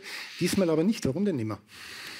Naja, es geht darum, dass wir was tun müssen. Aber es gibt viele verschiedene Zugänge, was zu tun ist. Ja, aber Sie haben Unser vier Koalitionsbedingungen Vorschlag, genannt, da war das, das nicht dabei. So ich bleibe bei dem, was ich vorher gesagt habe. Politik ist bisweilen ein bisschen komplexer. Und äh, unser Lieblingsmodell, wenn Sie so wollen, ist das schwedische Modell. Da waren schwedische Sozialdemokraten haben damals den Mut gehabt, diese Pensionsreform auf den Weg zu bringen. Ich finde es traurig, dass heutzutage die ÖVP letzten Donnerstag bei Beschlüssen zugestimmt hat, die diesen schwedischen Sozialdemokraten sogar zu links gewesen wären. Das wäre unser Lieblingsmodell. Aber natürlich gibt es auch Möglichkeiten, in diesem System etwas anzupassen. An allererster Stelle nicht wieder Beschlüsse zu machen, die erst recht wieder Frühpensionierungen ohne Abschlag ermöglichen. Dazu kommen wir gleich. Ich möchte aber noch kurz bei dieser Automatik bleiben, Herr Hofer. Die FPÖ lehnt das kategorisch ab. Warum eigentlich? Das klingt ja nicht unlogisch. Ja, also ich, ich verstehe überhaupt nicht, dass die NEOS ja nichts dagegen haben, dass Menschen, die nach Österreich kommen, noch keinen Tag einbezahlt haben, eine Mindestsicherung von mehreren tausend Euro bekommen aber dass Pensionisten, die ein Leben lang gearbeitet haben, eine Pensionserhöhung äh, bekommen, die ihrem Leben auch gerecht wird. Schäbig, äh, unsere Eltern und Großeltern, unsere Eltern und Großeltern haben dieses Land aufgebaut. Und sie haben es verdient, äh, dass sie auch eine lebenswürdige Pension bekommen. Und dafür stehen wir. Aber warum sind Sie gegen die Aber was sagen Sie den Jungen, Herr Hofer? Weil die Produktivität auch steigt. Ja. Also das heißt, dass äh, wir mit äh, weniger Arbeitsstunden heute mit den Möglichkeiten der Technik wesentlich mehr auch einbringen und daher auch ja Pensionisten, die zahlen nicht nur Pensionsbeiträge, die zahlen ja auch ein Leben lang Steuern. Und da gibt es Leute, die haben noch keinen einzigen Cent an Steuern bezahlt und bekommen tausende Euro Mindestsicherung. Und das ist nicht in Ordnung. Herr Kurz, Sie haben ja bei dem Thema Ihre Meinung offenbar fundamental geändert. Noch 2015 haben Sie gesagt, ich zitiere, wenn unser System zukunftsfit sein soll, müssen wir dafür sorgen, dass eine Pensionsautomatik eingeführt wird. Es gibt noch mehrere solche Zitate von Ihnen. Seit Sie Kanzler sind, ist davon keine Rede mehr. Pensionsexperte Marin sagt sogar, Sie würden die sozialdemokratische Wohlfühlpolitik auf die Spitze treiben, würde Ihnen jetzt Frau Rendi Wagner wohl nicht vorwerfen. Aber trotzdem, weswegen haben Sie da Ihre Meinung geändert? Also ich würde gern zwei Bereiche auseinanderhalten. Der erste Bereich ist die Frage, kann man von einer Pension leben? Die Masse der Pensionisten muss in Österreich von einer Pension um die 1000 Euro leben. Genau. Und ja, ich gebe zu, ich habe mich als Bundeskanzler dafür eingesetzt, dass diese Pensionisten, die von sehr, sehr wenig Geld leben müssen, ein paar Euro mehr bekommen als die Inflationsabgeltung. Und ich werde diesen Weg fortsetzen. Der zweite Punkt ist die Frage des Antrittsalters. Und da widerspreche ich Ihnen fundamental, Herr Wolf. Wir haben ein tatsächliches Pensionsantrittsalter im Schnitt von 60 Jahren und ein gesetzliches von 65. Das war aber ja, auch schon so, als Sie 2015 gesagt haben, wir müssen eine Pensionsautomatik Aber, aber man einführen. darf auch klüger werden. Der Punkt, den wir machen und schaffen müssten, ist, dass die Frühpension die Ausnahme ist und nicht der Regelfall. Wir müssen es endlich schaffen, dass die Menschen nicht im Schnitt mit 60 Jahren in Pension gehen, sondern mit 65 Jahren. Und ja, ich glaube, es ist zunächst einmal notwendig, das tatsächliche Pensionsantrittsalter von 60 auf 65 zu bringen, als dass man darüber philosophiert, ob man jetzt von 65 auf 67 gehen sollte. Jetzt äh, hat das die Frau Meidel-Reisinger schon angesprochen. Frau Rendi Wagner, Sie sind ja kategorisch gegen so eine Automatik, mhm. aber Sie haben einen Antrag eingebracht im Parlament, der dann auch durchgegangen ist, dass man künftig wieder nach 45 Arbeitsjahren mit 62 in Frühpension gehen kann, und zwar ohne Abschläge. Da sagt jetzt Pensionsexperte Marin, das ist wirklicher Unfug. Wenn die Menschen immer länger leben, ist es dann wirklich sinnvoll, die Frühpension wieder einzuführen? Nein, wir müssen aber schon die Situation der Betreffenden auch sehen. Und was ich äh, wirklich ablehne, ist, dass wir hier Generationen gegeneinander ausspielen, was die Neos ein bisschen immer wieder machen, dass sie sagen, Junge sie gegen die Älteren. Ich habe das noch nie, ich habe noch nie gesagt, äh, es geht gegeneinander, sondern es kann ja nur im Miteinander gehen. Und wir haben ein Umlagesystem, deswegen wird es immer so funktionieren, dass es ein gemeinsames ist, dass wir dafür Sorge tragen, dass die Generation, die unser Land aufgebaut hat, die jahrzehntelang ihre Leistung erbracht hat, auch würdig altern kann. Ja, sind wir froh und stolz darauf, dass wir in einem Staat leben, wo wir immer länger leben und die Lebenserwartung faktisch steigt. Das ist gut so. Aber was wir sehen, ist, dass die gesunde Lebenserwartung nicht steigt. Das heißt, die Leute in Österreich sind nicht gesund älter. Das heißt, die Zeit, die wir in Krankheit und Behinderung und, und körperlicher Pflegebedürftigkeit verbringen, wird mehr. Und das ist ja natürlich auch, äh, hat Auswirkungen auf unsere Altersarbeitsfähigkeit. Äh, das heißt, ich kann ja jetzt nicht sagen, weil wir älter werden, steigt automatisch die Fähigkeit, länger zu arbeiten, weil das sehen wir im faktischen Pensionsantrittsalter, das bei plus minus 60 Jahren liegt. Das ist übrigens das Alter, äh, das gesunde Lebenserwartungsalter. Das heißt, wir müssen unsere Anstrengung dahin legen, nicht ein mathematisches Modell anzustellen und zu sagen, wir machen eine automatische äh, Pensionserhöhung, Pensionsalterserhöhung, sondern unsere Anstrengung dahin legen, dass die Arbeitsbedingungen so werden, dass die Menschen länger gesünder arbeiten können und länger im Betrieb bleiben, nicht ausgepowert sind. Und ich sage Ihnen, Herr Wolf, nach 45 Jahren, wenn Sie mit 15 Jahren, weil das geht sich ja nur so aus, wenn Sie etwa mit 15 Jahren beginnen zu arbeiten, und das sind keine Jobs, die rein am Schreibtisch sind, sondern das sind Jobs, die meist am Bau sind, sehr handwerklich sind, sehr körperlich exponierte Jobs sind, dann sind Sie nach 45 Jahren körperlich am Ende. Gut. Glaub, und dann ist es mehr Punkt. als recht, dass diese Menschen abschlagsfrei ja. in Pension gehen können. Gut. Und ich haben bin auch so lange nicht für eine Pensionsantrittserhöhung, solange wir eine Altersarmut hm. haben, die so hoch ist, wie sie ist im Moment, ja. und eine Altersarbeitslosigkeit, die seit einem Dreivierteljahr übrigens in Österreich wieder im Steigen Gut. ist. Danke. Herr so, Kurz, nur ein Satz dazu. Würden Sie im nächsten Nationalrat diesen Beschluss mit den Frühpensionen wieder rückgängig machen? Welchen Beschluss meinen Sie? Der jetzt gefasst wurde dieser Tage, dass man abschlagsfreien Frühpension ja, geben wir kann. Haben, wir, haben den Beschluss, wir, ja haben den, wir haben den Beschluss negativ gesehen, haben dagegen gestimmt, weil wir es einfach für falsch Würden Sie ihn wieder rückgängig machen? Das müssen wir uns anschauen, kommt auf die Mehrheiten an. Aber der Beschluss war falsch und gefährdet unser Budget. Herr Hofer, ein Satz, würden Sie ihn rückgängig machen? Das ist richtig. In dritter Lesung haben wir gestimmt. Gut, äh, Herr Pilz, äh, Sie gehen ja noch viel weiter und verlangen eine bedingungslose Grundsicherung im Alter in Höhe von 1200 Euro. So steht der Satz in Ihrem Programm. Ab welchem Alter und wer bezahlt das? Ab dem gesetzlichen Pensionsalter, das jetzt vorgesehen ist. Erstens, Frau Rendi Wagner hat vollkommen recht, würden wir jetzt die Altersgrenze nach oben verschieben, bei dem Gesundheitszustand der meisten älteren Menschen in Österreich, dann würden die nicht länger arbeiten, sondern gesundheitshalber in Frühpension gehen. Genau. Das ist vollkommener Unsinn, sowas zu tun. Das Zweite ist, 47 Prozent unserer Pensionistinnen und Pensionisten haben eine Pension unter 1000 Euro. Das ist in einem der reichsten Länder der Welt schlicht und einfach eine Schande. Drittens, wir haben das von, von Bernd Nussbaumer, unserem Ökonomen von der Nationalbank, der bei uns auf der Liste ist, genau durchrechnen lassen. Sie können eine bedingungslose Grundpension für alle und davon profitieren in erster Linie Frauen, äh, finanzieren, wenn sie nur auf 1% Körperschaftssteuersenkung verzichten. Das ist finanzierbar und das ist eine politische Entscheidung. Wollen wir die Spender von Herrn Kurz und von anderen bedienen mit einer Senkung der Gewinnsteuern um 1%? Oder wollen wir endlich Altersarmut so bekämpfen, dass wir sie mit einem Gesetz zum Verschwinden bringen? Und da ist für mich die Entscheidung ganz besonders leicht. Herr Kugler, Sie fordern so etwas Ähnliches, eine Grundpension von 900 Euro ab 65 für alle, steht in Ihrem Programm. Ähm, das heißt, Pension vor 65 gibt es dann gar nicht mehr und das Frauenpensionsalter würden Sie mit einem Schlag auf, von 60 auf 65 hinaufknallen.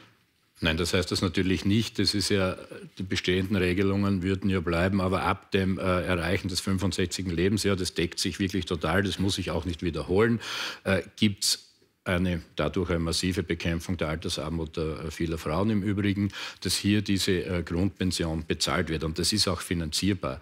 Äh, mittlerweile erhöht sich das ja dann schon gegen 1000 Euro sogar. Also das ist das eine. Aber zu den anderen Punkten, die hier erwähnt wurden, weil da gibt es wirklich, ähm, wirklich Unterschiede. Erstens einmal lobe ich den Nationalrat, obwohl ich gar nicht drinnen bin, ja, für diese zusätzliche über die gesetzliche Anpassung hinaus vorgesehenen 20 Euro, glaube ich, zusätzlich bei einer Pension, bei einer Pension äh, um 1000 Euro. Äh, und da, da, ist wirklich ein Unterschied zwischen den Neos und, und, uns, weil das berührt, das berührt mich wirklich unangenehm. Ja?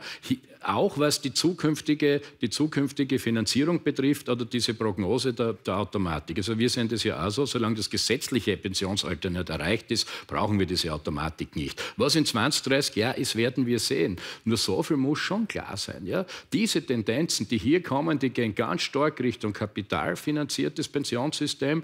Und ich sage, wenn wir in Österreich weiterhin wirtschaftlich vernünftig agieren und auch sozial gerecht, dann geht sich das alles aus mit der Wertschöpfung. Das ist das berühmte Umlageverfahren, dass Sie alle auf alles verlassen können. Und da ist ein massiver Unterschied im Gesellschaftsbild, nämlich bei den Neos habe ich oft das Gefühl, ja, wenn jeder auf sich selber schaut, dann ist schon auf alle geschaut. Völlig falsch. Wir sollten alle gemeinsam auf uns schauen. Und das, da, da kommt die Grundsatzprogrammatik zur Anwendung äh, in, äh, in verschiedenen äh, Konzepten dann. Also wir stehen zur, zur äh, Grundpension und das wird die Altersarmut der Frauen mit Sicherheit zumindest lindern. Frau Medel-Reisinger, Sie sind in der Redezeit voran. Nur Einsatzreplik.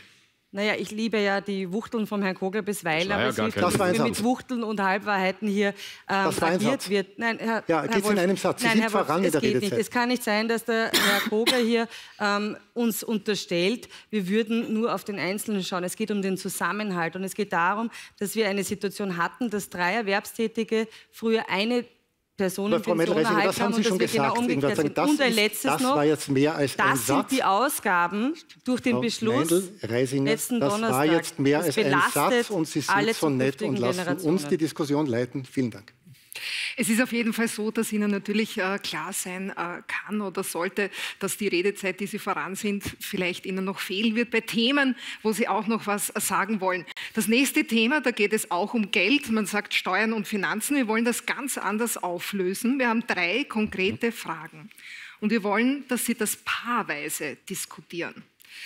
Das heißt, ich mische mich überhaupt nicht ein, auch Armin Wolf nicht. Wer anfängt, wer sich das Wort nimmt. Sie haben drei Minuten lang Zeit, schauen einander an. Ich bleibe natürlich hier stehen, weil völlig klar ist, Sie, Herr Hofer, und Sie, Herr Pilz, beginnen. Und zwar die Frage, CO2-Steuer, notwendig oder unsozial? Ihre drei Minuten laufen. Also aus meiner Sicht äh, nicht notwendig, auch unsozial, weil äh, bei allen möglichen Themen, äh, auch jetzt im Wahlkampf, immer der Ruf kommt, Steuern, Steuern, Steuern. Also eine CO2-Steuer, eine Schnitzelsteuer, äh, also immer wieder neue Ideen, äh, Todessteuer, also Erbschaftssteuer und so weiter, also immer neue Ideen. Ich glaube, dass wir das Thema anders angehen müssen, dass wir beim, beim Individualverkehr rein müssen, äh, beim, beim Biersprit von E5 auf E10 gehen müssen, dass wir weiter investieren müssen, auch äh, in den öffentlichen Verkehr, aber bitte nicht permanent, äh, um Probleme zu lösen, auf die Idee zu kommen, wir müssen wieder neue Steuern erfinden. Wir haben eine hohe Steuerbelastung in Österreich und wir treffen damit wieder nur die Pendler und jene, die auch wirklich arbeiten gehen und die Leute, die zu Hause bleiben und nicht arbeiten gehen und aus dem Ausland kommen, die sind dann wieder die Gewinner. Herr Hofer, wenn das passiert, was Sie wollen, nämlich dieses große Bündel an Maßnahmen, wo die, wo die Klimasteuer, die ökosoziale Steuerreform das Herz ist, wenn Sie das verhindern, dann werden Sie in nicht zu langer Zeit, weil wir haben nur noch wenige Jahre Zeit, um das, um das umzusteuern, werden Sie zu Hause im Pinkerfeld sitzen und darüber schimpfen und jammern, dass Sie ein nordafrikanisches Klima haben. Vielleicht werden es dann Palmen pflanzen, aber es wird eine Katastrophe, eine wirkliche Katastrophe. Ich glaube, Sie haben es einfach nicht verstanden.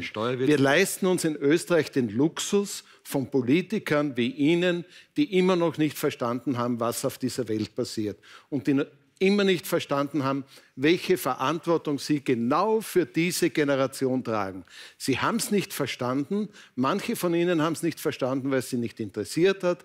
Andere haben es nicht verstanden, weil ihre Parteienfinanzierung genau von dort her kommt, wo Interessen sind, dass nicht umgesteuert wird, dass nach wie vor fossile Brennstoffe verheizt werden, dass nach wie vor unser Klima zerstört wird. Ich glaube nicht, Herr Hofer, und es tut mir persönlich leid, dass ich Sie überzeugen kann. Deswegen brauchen wir andere politische Mehrheiten, in denen klimafeindliche und zutiefst fossile Parteien wie die FPÖ keine Rolle in Regierungen mehr spielen. Sie haben noch Steuern eine ändern- Minute. Also ich sage einfach, Steuern ändern gar nichts. Also ich gebe Ihnen vollkommen recht, wie wichtig es ist, dass wir die richtigen Maßnahmen setzen. Aber die richtige Maßnahme ist nicht, Steuern zu erhöhen. Sondern die richtige Maßnahme ist, dass wir äh, die richtigen Dinge unterstützen und fördern. Und schauen Sie, ich bin auch, glaube ich, persönlich Vorbild. Ja. Ich habe eine Photovoltaikanlage. Ich baue mein eigenes Obst und Gemüse an. Ich habe das Wasser aus dem Brunnen. Äh, ich esse sogar kein Fleisch übrigens. Ja. Also, äh, also äh, ich sage nur eines, äh, mit neuen Steuern ändern wir nichts, sondern wir müssen einfach auch die richtigen Maßnahmen setzen. Und äh, den, den Menschen das Leben teurer zu machen, ist nicht die richtige Maßnahme. Das Wichtige ist bei einer großen ökosozialen Steuerreform, dass wir als erstes den Haushalten klar machen, ihr kriegt das gesamte Geld zurück. Und jeder Haushalt, der klimaschonend lebt, wird sogar finanziell profitieren. So, drei Minuten sind zu Ende. Kein Wunder, dass es hier keine Einigung gibt.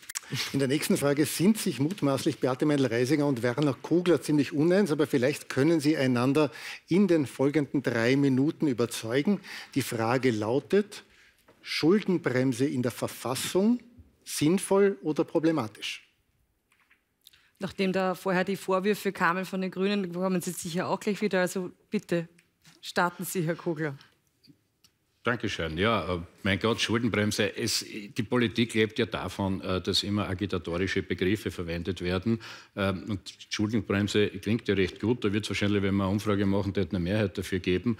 Äh, sinnvoll ist das ähm, dann nicht, und das ist leider die Regel, wenn das so gehandhabt wird, dass sich die Parlamente und die Regierungen ihres Spielraums berauben, äh, hier Investitionen äh, tätigen zu können in der Zukunft. Ja.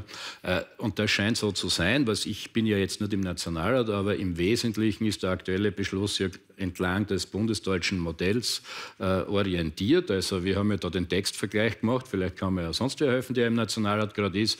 Und die Führenden und die führenden äh, Wirtschaftswissenschaftler in Deutschland sagen selber, dieses Konstrukt ist schädlich und ist ein Unsinn, weil es nämlich im Ergebnis als Investitionsbremse wirkt. Äh, wir brauchen jetzt eine Reihe von Klimaschutzmaßnahmen, da muss man investieren. Wir sind ja auch nicht die, die dauernd Steuersenkungen versprechen, wie Sie im Übrigen während der Wahlen und sagen aber nie, wo man es einspart.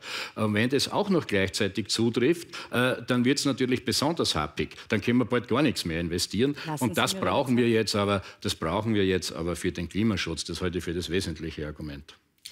Wir sind in der Verantwortung der Nachhaltigkeit. Nicht nur in ökologischer Hinsicht, sondern auch in ökonomischer Hinsicht. Das heißt, dass wir die Verantwortung haben, einen ordentlichen Haushalt zu hinterlassen. Was in den letzten Jahrzehnten passiert ist, ist jedes Jahr neue Schulden zu machen. Und das ist letztlich der Schuldenrucksack, den alle jungen Menschen hier zahlen werden. Und ja, wir wollen eine Entlastung, weil ich davon überzeugt bin, oder spüren die Österreicher jeden Tag, dass sie zu viele Steuern zahlen. Warum? Weil ihnen nichts mehr bleibt weil sie sich schwer tun, damit etwas aufzubauen, weil einfach viel die, zu wenig die Schuldenbremse ist ja ganz was anderes. überbleibt. Die Schuldenbremse wird und ja viel deswegen, schwieriger, wenn Sie Herr Kugel, die Steuern darf ich jetzt ausreden? Ich finde das jetzt ja. ein bisschen unfair. Sie haben, ich habe Ihnen Monolog nicht gestört. Das bitte darf ich auch ja, aussprechen. Ich, meine, ich bin ja hier nicht für die Redezeit Also es geht um die Entlastung der Menschen, die ist uns wichtig, weniger Steuern. Und ein ordentlicher Haushalt ist uns auch, auch wichtig. Und wir haben uns das genau angeschaut. Es braucht natürlich die Flexibilität. Aber wenn Sie so wollen, wir haben unseren Keynes zu Ende gelesen. Das heißt nämlich, in den Zeiten, in denen die Konjunktur gut ist, ähm, ein konsolidiertes Budget zu machen, effizienter zu sein, Einsparungen, damit man genau diesen Spielraum hat. Und jetzt kommen wir übrigens in die Situation, dass die Wirtschaft sich eintrübt. In Deutschland gibt es sogar Kurzarbeit. Und das zeigt übrigens, wie wichtig Wirtschaftskompetenz in der nächsten Regierung sein wird. Und diese Wirtschaftskompetenz gibt es mit NEOS. No, Sie hätten sogar noch elf Sekunden da übrig. Da aber ausführlich widersprechen aber, wollen. für ausführlich wir, haben wir keine weil, Zeit mehr. Ja, das weiß ich schon. Ja, aber weil wir, weil wir damit in die Situation kommen, in einer Zeit, wo in Wahrheit der Staat null, null Zinsen zahlt, äh, keine Klimaanleihen auflegen können, etc. Punkt. Es Danke wäre schön, die drei Minuten gerade sind wenn jetzt der Wirtschaftskrise kommt, Sie sind es leider nicht wahr, etwas störrisch. Die drei Minuten sind jetzt schon deutlich vorbei. Ich habe den Eindruck, Sie haben einander nicht ganz überzeugt. Vielleicht gelingt es in der nächsten Diskussion. Wer hat die besseren Argumente jetzt von Ihnen, Herr Kurz, Frau Rendi Wagner? Ein Steuerthema, das Sie total entzweit, ist die Erbschaftssteuer. Ich bitte auch Sie beide, dass Sie einander ansehen. Sie haben drei Minuten Zeit und Sie entscheiden, wer beginnt. Bitte sehr. Bitte. Also derzeit ähm, gibt es 19 EU-Länder, die eine Erbschaftssteuer haben, darunter auch Deutschland. Und äh, wenn ich mich richtig erinnere, hat sogar die bayerische Landesverfassung die Erbschaftssteuer in ihrer Verfassung stehen. Und die sind Ihnen ja jetzt nicht so fremd. Das sind Ihre Parteikollegen Markus Söder, mit dem Sie ja auch sehr eng verbunden sind. Also so abwegig ist es offenbar auch nicht äh, den, den Bayern. Was will ich in Österreich? In Österreich will ich, dass alle, die unter einer Million erben, keine Steuern dafür zahlen und sogar weniger, als sie derzeit zahlen, weil derzeit gibt es die Grunderwerbsteuer. Die will ich streichen. Aber alle, die große Erbschaften bekommen über einer Million, sollen für den Betrag über einer Million zahlen. Das heißt, jemand, der eine Million erbt, zahlt nichts. Jemand, der eine Million und einen Euro verdient, zahlt in dem Fall 25 Cent, 25 Prozent von dem Betrag drüber. Warum ist das so? Ich denke, das ist notwendig, weil derzeit 80 Prozent der gesamten Steuern, mit denen wir Schulen finanzieren, unsere Gesundheitsversorgung finanzieren, unsere gemeinsamen Leistungen für die Gesellschaft finanzieren, äh, zahlen derzeit 80 Prozent der arbeitenden Menschen die arbeitenden Menschen, die hier 80 Prozent hineinzahlen. Und es ist mehr als eine Frage der Gerechtigkeit, wenn wir sagen, die besonders Vermögenden sollen einen Teil ihrer Erbschaft auch in diese gemeinsamen Leistungen stecken und mitfinanzieren. Auch Zukunftsherausforderungen, gerade im Kampf gegen die Klimakrise, das ist nur mehr als gerecht. Und bei Betriebsübernahmen, da muss es Ausnahmen geben. Das gibt es in Deutschland auch. Und da bin ich gerne bereit, auch das deutsche Modell nach Österreich für diese Erbschaftssteuern ab einer Million plus zu übernehmen. Also ich tue mir bei dem Thema leicht, äh, glaube ich, Sie zu überzeugen, weil Sie ja selber vor einem halben Jahr in einem Interview gesagt haben, dass sehr beachtet wurde, dass Sie eigentlich eh der Meinung sind, dass im Moment nicht der richtige Zeitpunkt nicht, für Erbschafts- und Vermögensteuern ist, sondern dass es eigentlich einmal gut ist, die Steuern zu senken. Und ich glaube, das ist genau der richtige Ansatz. Keine neuen Steuern, sondern Senken der Steuerlast aus mehreren Gründen. Zum Ersten, damit den arbeitenden Menschen mehr zum Leben bleibt und zum Zweiten, weil immer, wenn neue Steuern eingeführt wird, die Politik gute Ideen findet, wie man das Geld ausgibt. Darum bin ich nicht für neue Steuern, sondern dafür, dass wir die Steuerlast senken. Wir haben mit den Kleinstverdienern begonnen, wir haben den Familienbonus eingeführt, jetzt gehören die Progressionsstufen gesenkt, also dass alle arbeitenden Menschen mehr zum Leben haben. Warum bin ich gegen die Einführung Noch von Erbschafts- und Vermögensteuern? Erstens einmal, Sie haben selber in Frage gestellt vor einem halben Jahr. Zweitens, die Sozialdemokratie war es, die es abgeschafft hat. Und zum Dritten, ähm, die wirklich Superreichen, die verschieben ihr Geld in der Sekunde ins Ausland. Und betroffen ist dann wie immer der Mittelstand, der eine kleine Wohnung hat, ein kleines Haus hat und nicht ins Ausland abwandern kann. Also die, die, Flucht des Vermögens hat in allen 19 EU-Ländern so nicht stattgefunden, wie Sie sie jetzt skizzieren als Horrorinstrument äh, für Österreich. Also sollten Sie beide äh, zu Koalitionsverhandlungen kommen, nehme ich jetzt an, dass die Erbschaftssteuer ganz sicher zu keiner, also dass es bei diesem Thema zu keiner Einigung kommt. An dieser Stelle schauen wir mal wieder auf die Redezeit und blenden Sie auch ein. Frau Meindl-Reisinger liegt voran, gemeinsam mit Frau Rendi Wagner fast gleich auf, aber Sie haben einen ziemlichen Vorsprung. Ähm, und Herr Hofer liegt momentan am letzten Platz, holt das vielleicht noch auf. Wir kommen zu unserem nächsten Themenblock. Gestern haben vier von Ihnen im Nationalrat mit sehr großer Mehrheit, nämlich die ÖVP, die SPÖ, die NEOS und jetzt gegen die Stimme der FPÖ einen wichtigen Beschluss gefasst, jedenfalls einen viel beachteten Beschluss gefasst. Sie haben die Regierung dazu aufgefordert, in Österreich den Klimanotstand auszurufen. Ein symbolischer Akt. Der Vorteil von einem symbolischen Akt, der kostet kein Geld, aber die nächste Regierung muss Geld in die Hand nehmen.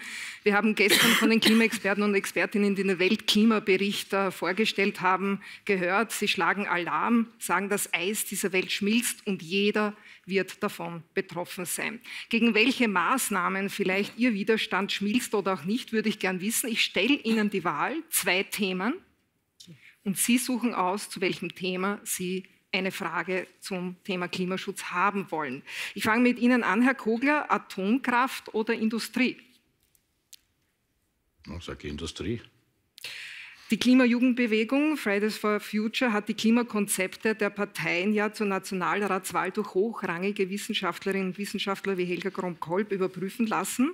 Die Grünen, Jetzt und Neos haben zwar die besten Noten aller Parteien erhalten, aber es sei noch Luft nach oben. Bei der Industrie haben Sie nachgereicht. Aber Herr Kogler, man hat sehr wenig über konkrete Vorschläge bei der Industrie gehört. Ist das schon eine Vorleistung für eine mögliche Koalition mit der industriefreundlichen ÖVP oder können Sie welche nennen? Naja, also erstens ist gestern äh, die Benotung äh, der Klimawissenschaft, nämlich äh, genau äh, des österreichischen Klimarats, Gromkorb war dabei, aber andere auch, die Führenden eigentlich, äh, endgültig rausgekommen. Und das sind die Grünen einmal ganz knapp bei 1. Das ist ähnlich wie ein Schulnotensystem, Neos bei 2. Na, und dann geht es eh schon rauf. Äh, nur damit wir das einmal klarstellen, ich habe das extra mitgebracht.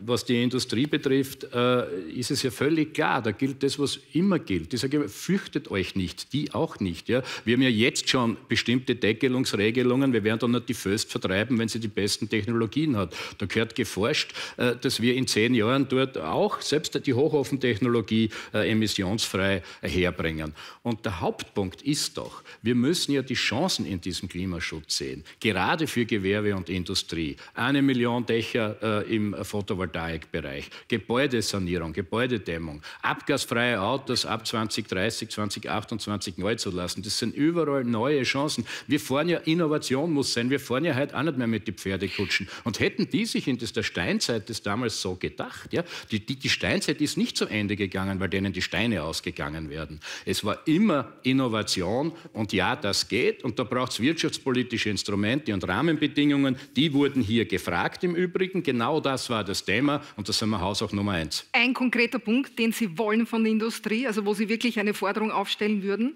Ja, nicht die, nur die Politik muss die Rahmenbedingungen setzen und das ist natürlich Sagen die große ökologisch-soziale Steuerreform. Das heißt, klimaschädliche Produktionsweisen werden tendenziell teurer und damit auch die Produkte am Schluss und die klimafreundlichen werden billiger. Das muss man irgendwann einmal verstehen. Rein ins Solarzeitalter, raus aus dem Fossilzeitalter. Die Fred Feuersteins sitzen eh in der Bundesregierung und die Klimawandelleugner und die Unterlassungstäter und und. Die Sache ist völlig klar. Sie ist klar. Fürchtet euch nicht. Herr Hofer, City-Maut oder Greta Thunberg? Greta Thunberg. Sie ist die prominenteste Figur äh, der mhm. Klimabewegung. Sie mobilisiert weltweit Millionen junger Menschen auf der Straße. Was macht sie besser als sämtliche Regierungen und Politiker und Politikerinnen? Gar nichts. Also zunächst einmal leben wir in einer Demokratie. Und hier werden Politiker gewählt und diese Dame, die junge Dame, ist äh, von niemandem gewählt worden. Mhm. Erstens. Zweitens. Äh, Klimanotstand. Ja? Äh, wir haben diesen Beschluss nicht mitgetragen, weil was kommt als nächstes? Das Klimakriegsrecht oder haben wir dann eine, eine Zöpferl-Diktatur mit der Frau Thurnberg, die dann das Parlament auflöst? Also das geht alles ein bisschen zu weit, finde ich. Ja. Das Aber das heißt, Sie, dass, so wie Ihr um, äh, Umweltsprecher gestern, der Herr Rauch, äh, sagt, ja. eine Klimahysterie, aber wenn wir bei der Frau Thünberg bleiben, ja. also Sie nehmen sie nicht ernst. Ich nehme jeden Menschen ernst.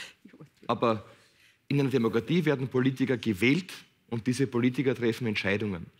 Äh, und, äh, aber jetzt würde ich jetzt als Dame Gegenargument, Herr Hofer, sich irrsinnig und macht sehr viel, aber die Schülerinnen und Schüler, die hier sitzen, ja, alles, sind alle über 16 und jetzt dürfen ja. sie mit 16 wählen. Greta Thunberg ist auch 16, ja, also aber wo ist da jetzt der Unterschied? Sie hat kein Mandat.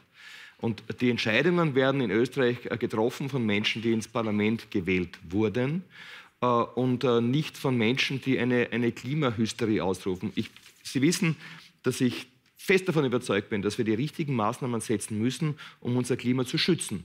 Aber bitte keine Hysterie, bitte kein Notstand und bitte kein Kriegsrecht. Äh, das brauchen wir alles nicht.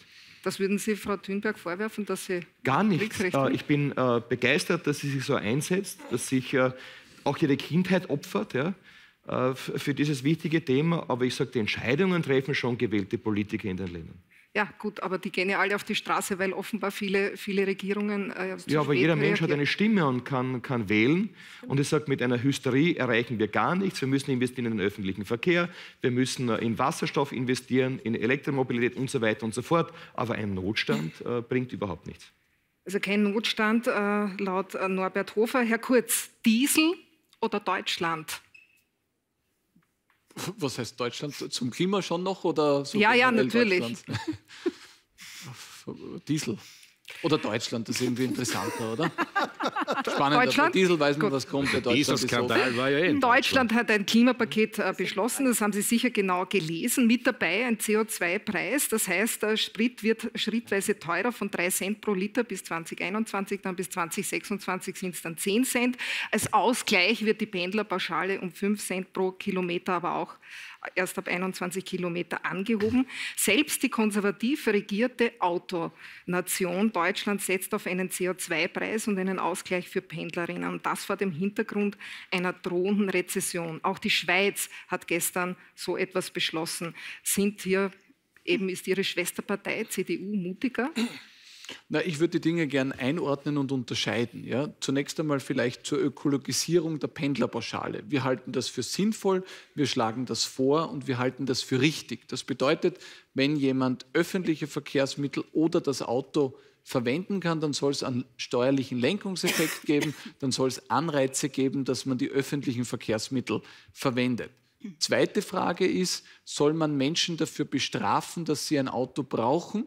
Da sind wir dagegen. Wir wollen nicht, dass man ähm, SUVs, die man neu kauft, äh, viel billiger macht, äh, die 100.000 Euro kosten, wie es in anderen Programmen steht, und auf der anderen Seite den Sprit für Menschen, die pendeln müssen, die im ländlichen Raum wohnen, erhöht. Das heißt, wir sind gegen eine Strafsteuer für Pendler. Wenn das nur ein Cent ist, dann nutzt es nichts. Und wenn es viel ist, dann können sich Leute oftmals nicht mehr leisten, dass sie mit dem Auto in die Arbeit fahren. Wenn sie aber wo leben, wo es keine öffentlichen Verkehrsmittel gibt, dann haben sie ein Problem. Dritter Punkt, auch Stichwort Deutschland. Bei der Industriepolitik wäre ich ganz, ganz vorsichtig, dass wir nicht den Fehler machen, Unternehmen aus Österreich zu vertreiben. Die Föst zum Beispiel hat 10 Prozent der CO2-Emissionen von der Republik Österreich. Sie können mit einem Federstrich ein Gesetz machen, dass es für die Föst unattraktiv ist, in Österreich zu produzieren. Ja, das will ja niemand. Dann gehen die niemand nach, will das. Dann gehen die nach Polen, in, produzieren in Ungarn oder anderswo zu anderen Bedingungen. Dort sind die CO2-Emissionen dann noch höher und bei uns Gut. fallen die Arbeitsplätze weg. Aber zusammengefasst, das Klimapaket von Deutschland ist kein Vorbild für Österreich. Ja, Fasse ich das richtig fassen zusammen? Fassen Sie nicht anders zusammen, als ich es gesagt habe. Ich bin jetzt gegen Copy-Paste des deutschen Modells. Es gibt Dinge, die sind sinnvoll, Ökologisierung, Pendlerpauschale. Und dann bitte, Frau Reiterer, sind es die Deutschen, die in Teilbereichen massiv hinterherhinken. Wir sind als Bundesregierung, hat keiner mitbekommen, aus dem, nicht nur aus dem Atomstrom, den haben wir schon ewig nicht in Österreich, Gott sei Dank, auch aus Kohlekraftwerken ausgestiegen. Die Deutschen brauchen dafür bis 2034. Wissen Sie, wie viel CO2-Emissionen ein einziges Kohlekraftwerk ja. hat? Also man muss schon in den richtigen Bereichen aufs Gas steigen. Frau Rendi Wagner, Frau Rendi Wagner fliegen oder Fahrverbote? Wir haben das entschieden als Bundesregierung. Fliegen. Der oberste Sozialdemokrat der EU-Kommission, Franz Timmermans, hat vehement im EU-Wahlkampf gefordert, ein Verbot von Kurzflügen. Nicht sofort, aber von bis zu 1500 Kilometer. Das hätte eben alle Inlandsflüge wären da verboten in der EU. 1500 Kilometer, ein Flug von Wien nach Mallorca zum Beispiel. Äh, seit der Wahl hat man nichts mehr davon gehört. Also große Visionen vor großen Wahlen. Fangen wir mit kleinen an. Sollen Flüge von Wien nach Bregenz, von Wien nach Graz, nach Linz, nach Salzburg, also innerösterreichische Flüge, einmal verboten werden? Also ein Wort, jetzt haben Sie einmal verboten werden. Das ist die Frage, ob irgendwann. Ich äh, jetzt, in dem Moment, sage ich nein, weil ich bin für Verbote, äh, über Verbote jetzt eine Politik zu machen, weil ich glaube, das kann man ganz anders angehen. Man muss sich nämlich anschauen, was ist der Unterschied zwischen Kerosinflugzeugen und äh, der Bahn oder dem Auto. Im Gegensatz zu jedem Autofahrer zahlen die Flugzeuge keine Steuern auf das verbrauchte Kerosin, aber wir wissen, dass Flugzeuge sehr wohl sehr viel CO2-Emissionen haben. Also allein durch einen äh, längeren Flug äh, hat man äh, einen Jahresverbrauch aber nur so als, Zwischen, als, als, Zwischenargument. Deswegen, auch Ihr, Ihr Spitzenkandidat Andreas Franz Schieder, Timmermann. ja, also, nicht, aber auch Andreas Schieder von Österreich hat gesagt, das ist überlegenswert. Na, aber jetzt, hier. in dem Moment sage ich nein, weil ich sage, man muss einen Schritt vor dem anderen machen und der notwendige Schritt ist, dass wir mal, wir haben ein gutes gutes, effizientes Bahnsystem, einen guten öffentlichen Verkehr in Österreich. Aber er kann noch effizienter werden. Und ich glaube, da sind wir uns fast einig auf diesem Tisch, dass das ein guter Weg ist. Das vereint uns hier, dass wir sagen, stecken wir alle Kraft darin, das Bahnnetz in Österreich noch effizienter auszubauen. Wenn man in die Schweiz fährt, sieht man nämlich, was noch effizienter möglich ist. Dort fährt wirklich oder da fliegt wirklich niemand mehr Kurzstrecke, äh, weil es einfach gar nicht mehr effizient ist. Man muss attraktiver werden als die Flugverbindung, dann wird keiner mehr fliegen. Also machen wir es mit Anreizen, mit positiven Alternativen und dann steigen die Leute von selbst um. Aber Kerosinbesteuerung äh, auf europäischer Ebene, das wäre auf jeden Fall ein, ein Gerechtigkeits- und Ausgleichsweg, um diese Ungleichheit zu beseitigen. Herr Pilz, Lkw-Maut oder Schweinebauern? Schweinebauern, selbstverständlich. Das Lieblingsfleisch der Österreicher ist äh, das Schweinefleisch. Äh, sie wollen aus der industriellen Massentierhaltung aussteigen. Es gibt 23.800 Schweinebauernbetriebe, davon nur 5.000 Biobauern. Also 2,6 Prozent von 2,82 Millionen Schweine sind quasi Bioschweine. Wie soll das praktisch funktionieren? Das erkläre ich Ihnen gern und sofort. Ich sage trotzdem einen Satz zum Herrn Hofer, ich möchte das nicht so stehen lassen. Die jungen Menschen, die zu Millionen auf die Straße gehen, übernehmen Verantwortung für uns alle und für ihre Zukunft und sind keine Klimahysteriker. Und sie gehen deshalb auf die Straße, weil es Politiker wie Sie in Ämtern gibt, wo die keine Verantwortung übernehmen. Ich bin froh, dass es diese jungen Leute gibt. Und jetzt zur Schweineproduktion. Äh, circa ein Drittel, äh, circa ein Drittel äh, der, der, klimaschädlichen Emissionen kommt aus der Massentierhaltung. Da spielt natürlich Österreich flächenmäßig und zahlenmäßig eine geringe Rolle. Unsere Chance besteht jetzt in der gut unterstützten Umstellung von Massentierhaltung, die auch Tierquälerei ist, auf biologische Landwirtschaft und Tierhaltung. Erstens. Zweitens Aber wie soll das funktionieren praktisch?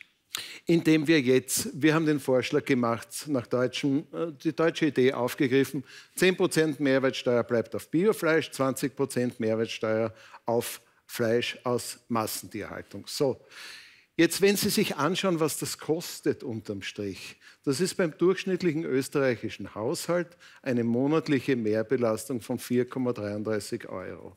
Das wird, wird keine großen Lenkungseffekte haben. Und deswegen, Frau Reiterer, Sie sind natürlich geschickt jetzt zur Fleischsteuer, aber ich wollte wissen, was die Bauern, wie, das, wie Sie das, das bei den Bauern und Bäuerinnen machen wollen. Das wäre jetzt der nächste Satz gewesen. Nämlich dieses Geld reinstecken in die Umstellung auf artgerechte und tiergerechte biologische Landwirtschaft. Gleichzeitig, und das ist die große Steuerung, massive Zölle an den EU-Außengrenzen von mindestens 30 Prozent auf interkontinentale Importe aus Massentierhaltung. Der beste, der beste Klimaschutz, unserer Erfahrung nach, ist der Tierschutz. Frau Meindl-Reisinger, Wirtschaft oder dritte Piste? Das ist lustig, weil das ist ja. Ja. oh. Wirtschaft in Ihrem Drei-Phasen-Modell eben für die CO2-Steuer auf, diese, auf, dieses Konzept sind Sie sehr stolz. Da zahlen die Konsumentinnen und Konsumenten zuerst. Die Industrie kommt erst in einer dritten ja. Phase, also später dran. Der Standort, sprich äh, der Wirtschaftsstandort, bestimmt den Standpunkt. Warum zahlt die Industrie erst in ihrem Konzept später und die Konsumenten und Konsumentinnen gleich? Das stimmt so nicht, Frau Reiterer. Wenn Sie sich unser Konzept anschauen, ähm, dann steht wir. da ja ganz klar, dass sie die Industrie ja jetzt zahlt. Allerdings in einem anderen ja, aber System. die Konsumentinnen und Konsumenten zahlen ja jetzt auch schon. Die zahlen ja auch, äh, geben ja auch darf schon ich, ihren Beitrag. Darf ich das ausführen? Vielleicht, um dieses Konzept noch einmal klar zu sagen, weil es tatsächlich so ist, dass wir das als einzige ein Konzept haben und auch eine Modellrechnung gemacht haben. Wir haben jetzt in der Industrie, in der Wirtschaft das Modell des Zertifikatehandels. Das heißt, sehr wohl hier zahlt die Wirtschaft und die Industrie etwas. Was wir aber wollen, ist vor allem dann auf Europaebene eine Umstellung des Zertifikatehandels auf, und das ist das ganz Entscheidende, auf einen CO2-Preis. Umweltverschmutzung braucht einen Preis. Und das ist in mehreren Phasen angedacht, weil es natürlich auch wichtig ist, und dazu stehen wir ganz klar, dass es hier auch äh, keine Wettbewerbsnachteile für Österreich gibt im europäischen Ausland. Die Industrie sagt mir übrigens, dass ein Preis durchaus kalkulierbarer ist für sie. Wichtig ist aber, die größte Verursachung ist der Verkehr. Und daher setzen wir da an und unser Konzept dieses CO2-Preises bei gleichzeitiger Entlastung der Menschen, entlasten wir die Menschen, entlasten wir die Umwelt, ist durchgerechnet das wirksamste. 2020 schaffen wir es, minus 30 Prozent CO2-Emissionen im Verkehr. Das ist das beste Programm, das am Tisch liegt. Ich brauche jetzt Ihre Hilfe. Ich habe nämlich äh, ein Problem. Wir sind mit unserem Zeitkonzept ziemlich im Verzug. Ungefähr um 10 bis 12 Minuten und wir schieben die Zeit im Bild 2 nach hinten. Ich muss dort aber, ich darf dort aber morgen wieder arbeiten. Ich kriege ein Problem. Bitte helfen Sie mir im Rest der Sendung und helfen Sie uns mit kürzeren Antworten. Das wird jetzt gleich ganz einfach, weil wir Sie jetzt nochmal bitten, ähm, zu, einem, zu den folgenden Fragen nur mit Ja oder Nein zu antworten. Mhm. Bitte greifen Sie noch mal zu Ihren Tafeln. Und es gibt jetzt vier Fragen zum Thema Außenpolitik. Die erste Frage lautet, soll die EU-Kommission das fertige Brexit-Abkommen noch mal aufschnüren, um jedenfalls einen harten Brexit zu verhindern? Interessant, grün und jetzt dafür, alle anderen dagegen. Die nächste Frage lautet, soll sich Österreich für ein Ende der EU-Sanktionen gegen Russland einsetzen? kommt darauf an, wie sich die russische Politik entwickelt. Ja, also stimmt. bei Ja, allem Respekt, das ja. kann man nicht mit Ja, oder Nein Derzeitiger. Stand. Es geht um jetzt. Derzeitiger Stand. Was derzeitiger heißt derzeitiger Stand? Okay. Äh, Die Ja. ÖVP Also, dafür und naja. wenig, wenig überraschend die FPÖ dafür. Aber da, darf ich nur einen Satz sagen, Herr Wolf? Ich mache gern mit bei Ja-Nein-Spielchen, bei ganz komplexen außenpolitischen Fragen. Weiß ich Ja, nicht, ein Satz. da ist gerade sehr viel im Gange. Es gibt einen neuen Präsidenten in der Ukraine. Es gibt Gespräche zwischen dem ukrainischen Präsidenten und dem russischen Präsidenten. Also der derzeitige Stand ist, glaube ich, etwas anders, als wir das vielleicht medial alle wissen. Gut, die Dinge sind im Fluss. Nächste Frage. Sollen die EU-Beitrittsverhandlungen mit der Türkei endgültig abgebrochen werden? Naja. Und hier entscheidet sich Herr Kogler noch nicht so ganz, oder? Aber alle anderen sind dafür.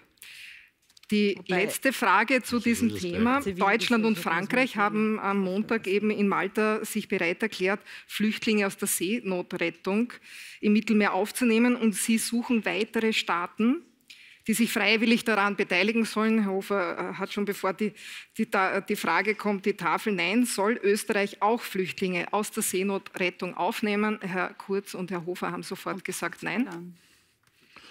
Ja, sind, Meindl-Reisinger auch Nein. das sind 15 pro Monat, haben wir genau. das letzte Mal Wir haben es ausgerechnet. Ja? ausgerechnet. Wenn's 15 Personen fünf- pro Es Monat. handelt sich Ja, hier, man muss das präzisieren. Aber Sie haben ja Nein. Oh, Entschuldigung, Nein, ich habe das falsch Ja. Ja, okay. Nein, aber wenn, es, Bitte. wenn wir das präzisieren, so. Fragen? ja, warum, nur ganz kurz, Weil warum es Nein? nicht bei 15 Personen bleibt, sondern das System ist einfach, wenn die Menschen nach der Rettung nach Österreich oder Deutschland gebracht werden, kommen immer mehr, es ertrinken immer mehr und darum müssen die Menschen nach der Rettung zurückgestellt werden in die Herkunfts- nein. oder Transitländer. Gut, Und ich Herr Kurz, Sie ja führen wieder, deutlich bei der das ist ja wieder Redezeit. was anderes. Wir kommen zu unserem Das ist die letzten. Themenblock und da würde ich Sie jetzt tatsächlich um knappere Antworten als bisher bitten und das ist das Bundesheer. Da hat der amtierende Verteidigungsminister ja vor ein paar Tagen einen wirklich erschreckenden Befund abgeliefert. Er hat gesagt, das Heer ist konkursreif und nur mehr teilweise einsatzfähig, militärisch sowieso, aber auch beim Katastrophenschutz. Er fordert deswegen deutlich mehr Budget und er fordert auch, und das wird wahrscheinlich die jungen Männer hier im Raum besonders interessieren, eine Verlängerung des Grundwehrdienstes. Deswegen meine Einstiegsfrage an Sie, und da würde ich Sie jetzt noch einmal bitten, die Tafel zur Hand zu nehmen. Soll der Präsenzdienst so wie früher wieder auf acht Monate, also sechs Monate Ausbildung, zwei Monate Milizübungen, verlängert werden? alle dagegen, außer die FPÖ. Das ist soweit nicht so überraschend, außer bei Ihnen, äh, Herr Kurz, weil im ÖVP-Wahlprogramm eigens steht, wie wichtig die Miliz ist. Jetzt sagt Ihnen jeder Offizier, mit dem Sie reden, dass es ohne Übungen keine funktionsfähige Miliz gibt. Und selbst der Milizbeauftragte Ihrer letzten Regierung, Brigadier Hammes-Eder, ein ÖVP-Mann, sagt, diese Verlängerung auf acht Monate sind notwendig, sonst ist die Miliz bald am Ende. Beeindruckt Sie das gar nicht? Also ich schätze den Erwin Hameseder sehr. Das heißt nicht, dass man nicht in einer oder anderen Sachfrage doch unterschiedlicher Meinung sein kann.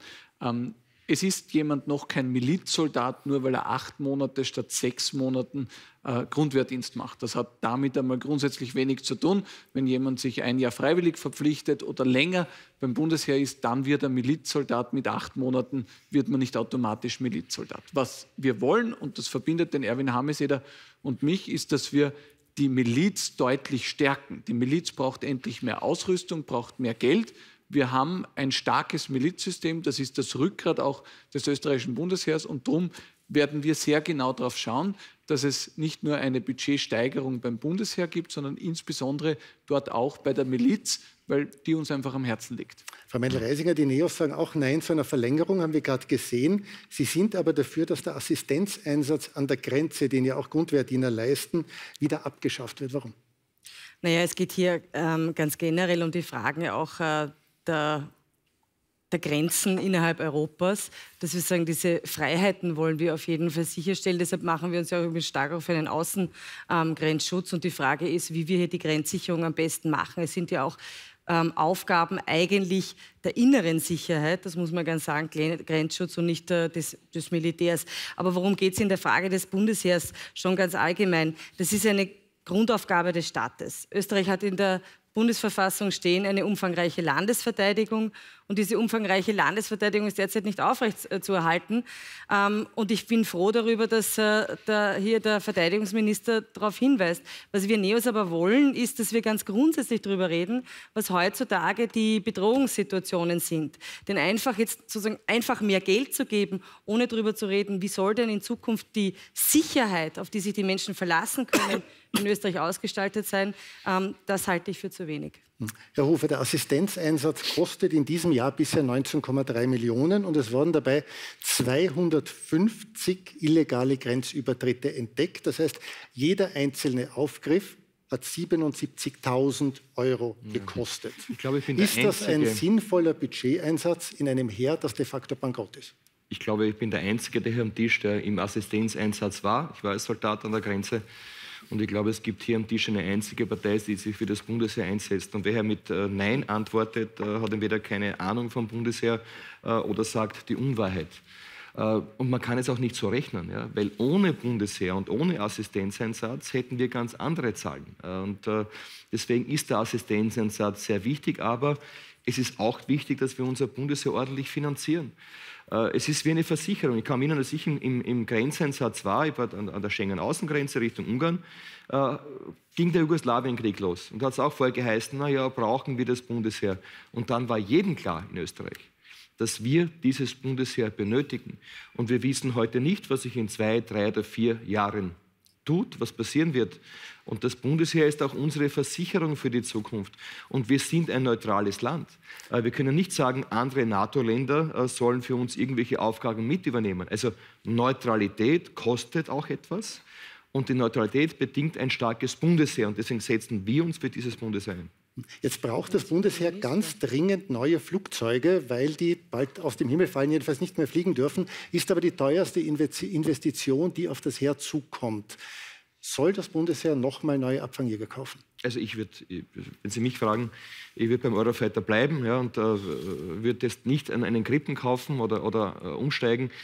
Das Problem ist ein anderes. Wir haben äh, einen, eine, eine Saab 105, die am Ende ihrer Lebenszeit Aber Sie ist. richtig verstanden. Sie würden neue Eurofighter kaufen oder Sie würden die jetzigen, die ohnehin schon fast nicht mehr fliegen können, Ich würde sie, würd sie upgraden ja, und, und nicht auf den Krippen umsteigen. Äh, aber bei der Saab 105 haben wir ein Problem. Das ist im, im fünften Jahrzehnt ein altes Flugzeug, kann nicht mehr fliegen. Das heißt aber, äh, weil wir die Saab 105 nicht nachbesetzt haben oder nach, äh, mit einem Advanced Jet Trainer nach, nachbestellt haben, dass es viele Flugstunden von der Saab 105 auf den Eurofighter gehen. Also ungefähr 40 Prozent der Flüge gehen auf den Eurofighter und es wird einfach teurer. Das heißt, wir müssen nachbeschaffen, einen Advanced Jet Trainer, um günstige Flugstunden nachzubekommen. Herr Kugler, Ihre Partei hat überhaupt ein ganz anderes Konzept. Sie wollen erstens trotz Volksbefragung 2013 ein Berufsheer ja. und Sie wollen das Heer auf das absolut notwendige Maß verkleinern. Und Sie sagen auch, Kampfflugzeuge sind für Österreich viel zu teuer und nicht erforderlich. Da sagen jetzt ganz viele Menschen, die für das Heer sind und die für die Neutralität sind, wir müssen aber unseren Luftraum überwachen. Wie würden Sie das dann machen? Naja, erstens möchte ich vorausschicken, dass wir nicht immer, um einen Dienst an der Gesellschaft äh, zu tun, äh, mit, dem, mit dem Militär an irgendeiner äh, Grenze rumstehen muss. Ich war äh, entsprechend lange Zeit Notarztsanitäter, weil da jetzt immer dieser, dieser Wettbewerb losgeht, natürlich als Zivildiener. Äh, zweitens äh, Berufsherr ja, das haben wir damals so vereinbart, aber wesentlich eingeschränkt auf die Funktionen Katastrophenschutz, wenn es beim Bundesheer bleibt, internationale friedenserhaltende Einsätze Abwehr von Cyberangriffen auf Republikseinrichtungen. Das ist ja dann wesentlich günstiger und außerdem stehlen wir nicht mehr ganzen Kohorten junger Männer Lebenszeit. Das ist das. Also das wäre sogar effizienter. Dritte Frage, äh, Luftraumüberwachung. Ja, Sie sagen Gott sei Dank Überwachung und nicht Verteidigung. Also da bin ich ja hier nicht der Einzige. Peter Pilz, man muss es einfach fairerweise erwähnen, wir haben 15 Jahre lang kämpfen wir gegen diesen Unfug, der hier beschrieben wurde, äh, mit den Eurofightern. Das war von vornherein erkennbar, dass das erstens, so wie es bestellt wurde, uns milliardenmäßig über den Kopf wachsen wird. Genau das ist passiert. Schmiergeld inklusive in Wahrheit. Und das kann man wesentlich günstiger haben. Nämlich wie? Wenn schon. Aber wenn wie? Schon. Wie? wie denn? Nämlich wie? Ja. Wie? Entschuldigung, wir haben Luft-Ferraris bestellt und das noch schlechte. Es hätte ein gebraucht Fiat auch getan. Das heißt, aber welchen und gebraucht die, Fiat würden Sie ja, kaufen für den ich bin, ja, ich bin ja nicht der Beschaffungsexperte Aha. des Bundesheers. Aber was wir damals aufgedeckt haben, ist, dass die Geschichte ja, von vorn bis hinten geschoben war. Und, das, und da zahlen wir heute noch dran. Und deshalb bin ich der Meinung, dass wir hier mit Gebrauchtflugzeugen und Kooperationen Welches? mit anderen ja, das ist ja nicht Aufgabe der Politik, das ist ja genau Ihr, ja, ihr Zugang du immer, der, dass Sie einen bestimmten, also einen bestimmten Typen aus, äh, ausrufen und dann kommt es raus, entweder wie es früher war, da hat man mit den Schweden packelt und dort das Schmiergeld hinzahlt mit dem Krippen, auch das haben wir aufgedeckt, dann kommen die Eurofighter ja, daher, dann geht halt das Schmiergeld nach Bayern und nach Baden-Württemberg ja, aber sag eine und Lösung. dann wieder zurück An nach Österreich. Diese Stelle Nein. haben Sie die Spitze Nein. in der Redezeit übernommen und ja, beenden Dank, hier. Die, aber die fladern uns die Milliarden und sehen das überhaupt nicht ein. Das ist eine Kernkompetenz von Schwarz Milliardenfladern. Sie sind sich da ja ohnehin mit Herrn Pilz einig. Nehme ich mal an, so ganz genau weiß ich es nicht, weil Sie haben zwar diesmal ein Wahlprogramm, aber in dem steht nicht ein Wort über das Bundesheer. Nein, weil wir in unserem Programm Pläne reingeschrieben haben, auch der einzelnen künftigen Abgeordneten, so wir es ins Parlament schaffen, die diese Abgeordneten in den nächsten fünf Jahren umsetzen wollen. Aber ich versichere Ihnen hier, natürlich werde ich mich persönlich ums Bundesheer kümmern, weil es erstens ein gutes Bundesheer ist und zweitens, weil es ruiniert wird seit Jahrzehnten. Eurofighter ist, nur eine Geschichte. Das fliegende Schmiergeld hat das Bundesheer bei den Investitionen ruiniert und ich beantworte gerne anstelle von Werner Koger die Frage, was ist die Alternative?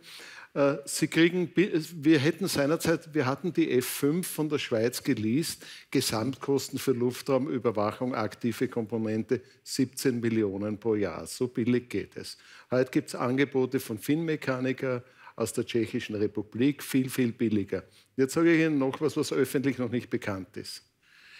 Das Verteidigungsministerium bereitet gerade ein sogenanntes Upgrading der Eurofighter vor, das aber kein Upgrading ist, sondern sicherstellt, dass zumindest alle 14 Tage mal ein Eurofighter überhaupt die Luft erreicht. So, dieses Upgrading kostet 300 Millionen Euro. Das soll vor der Wahl noch verschwiegen werden. Das sind zusätzliche 300 Millionen Euro, die hier verpulvert werden. Jetzt schlägt der Verteidigungsminister vor, das Verteidigungsbudget zu verdoppeln. Stellen Sie sich das einmal vor. Ein Grüner. Statt da überall, statt da überall ein Grüner. Ist das aber Und gleichzeitig kein Geld für die Pflege, kein Geld für Pensionen, kein Geld für Schulen, kein Geld für Universitäten, Herr Wolf. Und das ist es. Wir haben dieses Geld als Republik Österreich nicht und das muss auch ein Verteidigungsminister ein verstehen. grüner Verteidigungsminister übrigens. Frau, Frau Rendi-Wagner, ähm, soll man noch mal neue Flugzeuge kaufen? Also ob man neue Flugzeuge Oder gebrauchte Flugzeuge überhaupt noch mal. Ich glaube, wir müssen unseren verfassungsrechtlichen Pflichten des Bundesheers muss nachgekommen werden. Wenn das in der Verfassung steht, dann müssen wir da, dafür Sorge tragen, dass das Bundesheer ordentlich und ordnungsgemäß ausgestattet ist. Ich bin jetzt sicher nicht die Flugexpertin oder die Heeres- und Militärexpertin, um Ihnen zu sagen, welche Flugzeuge, also diese Fragen werde ich hier nicht beantworten, weil wir reden auch nicht, welche Impfstoffe wir für die nächste Impfstoffbeschaffung der Kinderimpfpläne mhm. äh, beschaffen, weil da kann ich Ihnen mehr dazu sagen und hier sonst niemand. Aber es geht darum, dass die Sicherheit in diesem Land uns was wert sein muss. Und wenn wir dazu stehen und dass ich stehe dazu, dann müssen wir Sorge tragen, dass eine ordentliche Budgetausstattung vorhanden ist und dass 18.000 Grundwehrdiener nicht in Kasernen untergebracht sind, wo äh, die Decke von der, äh, wo der Putz von der Decke fällt. Das ist nicht zumutbar und dass eine Gerätschaft da ist, die 20, 30, 40 Jahre alt ist, weil das ist Museum. Dann können wir ins Heeresgeschichtliche Museum gehen. Aber wir müssen zu unserem Bundesheer stehen und für die äh, Luftraumüberwachung, das ist eines, da muss man Sorge tragen, dass es auch Sonderbudgets gibt, ja. die im Rahmen der Hubschrauber hier Nein, zum Beispiel ihr, auch ihr zur Flamme, Verfügung gestellt werden. Ist deswegen so und wir haben uns ausgesprochen für eine ordentliche Budgetausstattung bis 2021, ja. schrittweise bis zu drei Milliarden. Das ist das Gesamtbudget dann des Bundesheers. Und damit haben Sie meine Frage, die ich stellen wollte, schon beantwortet. Herr Wolf, darf ich es ah, okay. mit einem Satz beantworten, weil es, glaube ich, sehr leicht ist zusammenzufassen. Es gibt Experten im Bundesheer, die in meiner Kanzlerschaft noch den Auftrag bekommen haben, die unterschiedlichen Wege zu skizzieren. Und ich glaube, es wäre sinnvoll, wenn wir uns bei der Luftraumüberwachung für den günstigstmöglichen Weg entscheiden. Welcher das ist, das können die Experten dort gut vorlegen. Gut, das heißt, es muss dann eben nicht, Satz, wenn ich darf. Ja, wenn ich darf. Das wirklich Faszinierende in der Politik ist, dass jeder Politiker sagt, ein Satz, es Ja, wird aber nie aber ein ich habe, Satz. glaube ich, zwei Minuten nachzuholen. Also, äh. Sie sind tatsächlich ein bisschen hinten in Ja. Gott also ein Satz. Also wir haben, äh, stimmt, in der, in, der, in der Koalition darüber gesprochen. Es gibt diese zwei Varianten, äh, Eurofighter belasten oder Krippen äh, nachbeschaffen. Äh, beide Varianten kosten ungefähr gleich viel Geld, der Krippen etwas mehr in der Nachbeschaffung. Äh, und die meisten Experten im Bundesheer sagen, es wäre besser, dieses Flugzeug zu belassen. Mir ist ja vollkommen egal, welcher Flieger es ist. Äh, aber beim, bei der Saab 105 müssen wir nachbeschaffen, weil es sonst nämlich teurer wird, als das jetzt der Fall ist. Herr Hofer, Sie haben etwas verschwiegen und das ist wirklich nur ein Satz. Es gibt, in der, es gibt im Verteidigungsministerium auch eine dritte Variante, die heißt Eurofighter stilllegen und das ist mit Abstand die beste. Ja, gleich das Man ganze gibt, kleinen, man, man, man gibt Noch ihnen den kleinen Finger mit einem Satz und sie nehmen dann gleich zehn. Ja, haben Sie Wir schon schauen mal die uns die Rede. gesagt? Ja. jedes Mal, wenn ich gesagt habe, nur ein Ja, Satz. genau. Wir schauen jetzt noch einmal auf die Redezeit. Äh, Herr Kurz führt und Herr Hofer hat äh, am wenigsten, aber Sie sind alle ziemlich gleich Thema. auf. Das ist wirklich ähm, ganz gut. Sie haben jetzt sicher nicht vergessen, dass Sie jemandem eine Frage stellen, die Sie schon immer stellen wollten. Wichtig wäre jetzt, auch mit Blick auf die Uhr, wir sind eben schon deutlich drüber, dass Sie bitte kein Kurzreferat halten, sondern tatsächlich eine Frage stellen und wenn möglich auch präzise und knapp antworten. Wir beginnen mit Herrn Pilz und die Frage von Herrn Pilz geht an Frau Meindl-Reisinger. Das, das mache ich jetzt ganz einfach und konkret. Da geht es um Klimaschutz, um, um, um diesen Befund, der jetzt endlich schriftlich vorliegt und, und sagt, Grüne und wir besten Programme, dann kommen die Neos. Einer der Kritikpunkte, und dazu frage ich Sie konkret, äh, Frau Meindl-Reisinger, ist, äh, die Klimaforscher fordern gesetzliches Ende der Neuzulassungen von Autos mit fossilen Verbrennungsmotoren in Österreich bis spätestens 2028. Hier steht bei Neos ein roter Balken. Warum sagen Sie dazu Nein? Ja, weil das eine Frage der Technologie ist, ganz simpel, Herr Pilz. Ähm, und wir unseren Ansatz haben, ähm, dass wir Anreize setzen und Marktmechanismen wie den CO2-Preis nutzen ähm, und nicht äh, Verbote, das ist ganz klar. Ähm, wir haben unser Konzept auf den Tisch gelegt. Das ist eine Modellrechnung. Aus diesem Grund wird sie gerne auch zerpflückt. Ich würde gerne mal die Zahlen der anderen Kolleginnen und Kollegen sehen. Und das Ergebnis habe ich Ihnen gezeigt. Minus 30 Prozent CO2-Emissionen beim Verkehr. Das ist deutlich mehr als Ihr Konzept. Herr Kogler, wird es eine persönliche Frage oder auch eine inhaltliche Frage, die Sie Herrn Hofer stellen? Naja, das muss sich ja nicht ausschließen. Äh, er hat sich heute ja angetragen äh, und was von äh, Zöpferldiktatur geredet. Äh, das fordert mich natürlich schon heraus, ob er das ernst meint. Morgen, morgen gehen Millionen Kinder und Jugendliche in Österreich, in Europa und auf der ganzen Welt auf die Straße, weil sie nicht mehr oder weniger wollen als eine halbwegs gesicherte Zukunft. Und äh, ich frage mich schon, äh, wie Sie dazu kommen, äh, äh, der daneben zu greifen und äh, hier äh, solche Begriffe zu verwenden. Sie haben die Gelegenheit, das zurückzunehmen. Wollen Sie das tun? Also, ich habe gesprochen über den, den Beschluss des Klimanotstandes. Und ich glaube halt, dass ein Beschluss im Parlament, der einen Klimanotstand ausruft, überhaupt nichts verändert, sondern wir sind gewähltes Politiker, um Taten zu setzen. Und das ist unsere Aufgabe. Und deswegen habe ich den Klimanotstand kritisiert. Äh, und habe nicht kritisiert, dass jetzt äh, junge Menschen auf die Straße gehen. Das, das finde ich sehr bemerkenswert und auch wichtig. Aber nur äh, ein Beschluss über einen Notstand ist ja ein Unsinn. Ja, wir haben, also, was ist, kommt als nächstes? Notstand, Kriegsrecht, keine Ahnung. Ja. Sondern Jetzt weiß ich, wie den Moderatoren wir es geht, weil er müssen- beantwortet die Frage Wir nicht. müssen Taten setzen. Und wir sind in Österreich das Land, wo am meisten mit der Bahn gefahren wird, in der gesamten Europäischen Union. Wir sind das Land, das beim Strommix den höchsten Anteil an Erneuerbaren hat. Und mich ärgert es wirklich sehr, dass im Ranking der Europäischen Union Österreich als Klimasünder dargestellt wird. Und wer ist auf, auf dem ersten und zweiten Platz? Belgien und Frankreich, weil sie auf Kernkraft setzen. Und das ist diese Unehrlichkeit, äh, die ich einfach nicht hinnehme. Ja? Die Länder, die mit Atomstrom arbeiten, sind also die Liebkinder der äh, EU-Bürokratie und Österreich mit Wasserkraft äh, dann am letzten Platz, das nehme ich nicht hin. Danke, Herr Hofer. Frau Meindl-Reisinger, was ist denn Herr Kurz noch nie gefragt worden? Das weiß ich nicht. Aber ich würde gerne was fragen, wenn Fragen ich Sie. darf. Und das darf ich ja jetzt. Wunderbar. Fragen Sie. Ähm, Herr Kurz, Sie haben gesagt, Sie mussten ja so viel ertragen und runterschlucken in dieser Koalition mit der FPÖ. Ähm, und da frage ich mich schon, warum haben Sie dann nichts gesagt, als die Angriffe auf die Caritas gekommen sind? Warum haben Sie sich nicht zu Wort gemeldet, als äh, diese Schilder abmontiert wurden, ähm, Einreisezentrum und in Ausre also Erstaufnahmezentrum und in Ausreisezentrum ähm, geändert wurden, zynisch. Warum haben Sie nichts gesagt, dass dieser zynische Mindestlohn von 1,50 Euro für Asylwerber äh, gemacht wurde? Ähm, warum haben Sie da nicht lautstark protestiert, wenn Sie ach so viel ertragen mussten, wo es eigentlich die Österreicherinnen und Österreicher waren, die das ertragen mussten? Und wieso, um Gottes Himmels Willen, obwohl Sie Klarheit plakatieren, schließen Sie jetzt nicht ein für alle Mal, auch nach dem, was jetzt bekannt geworden ist, eine Koalition mit dieser FPÖ, die nicht regierungsfähig ist, nicht aus?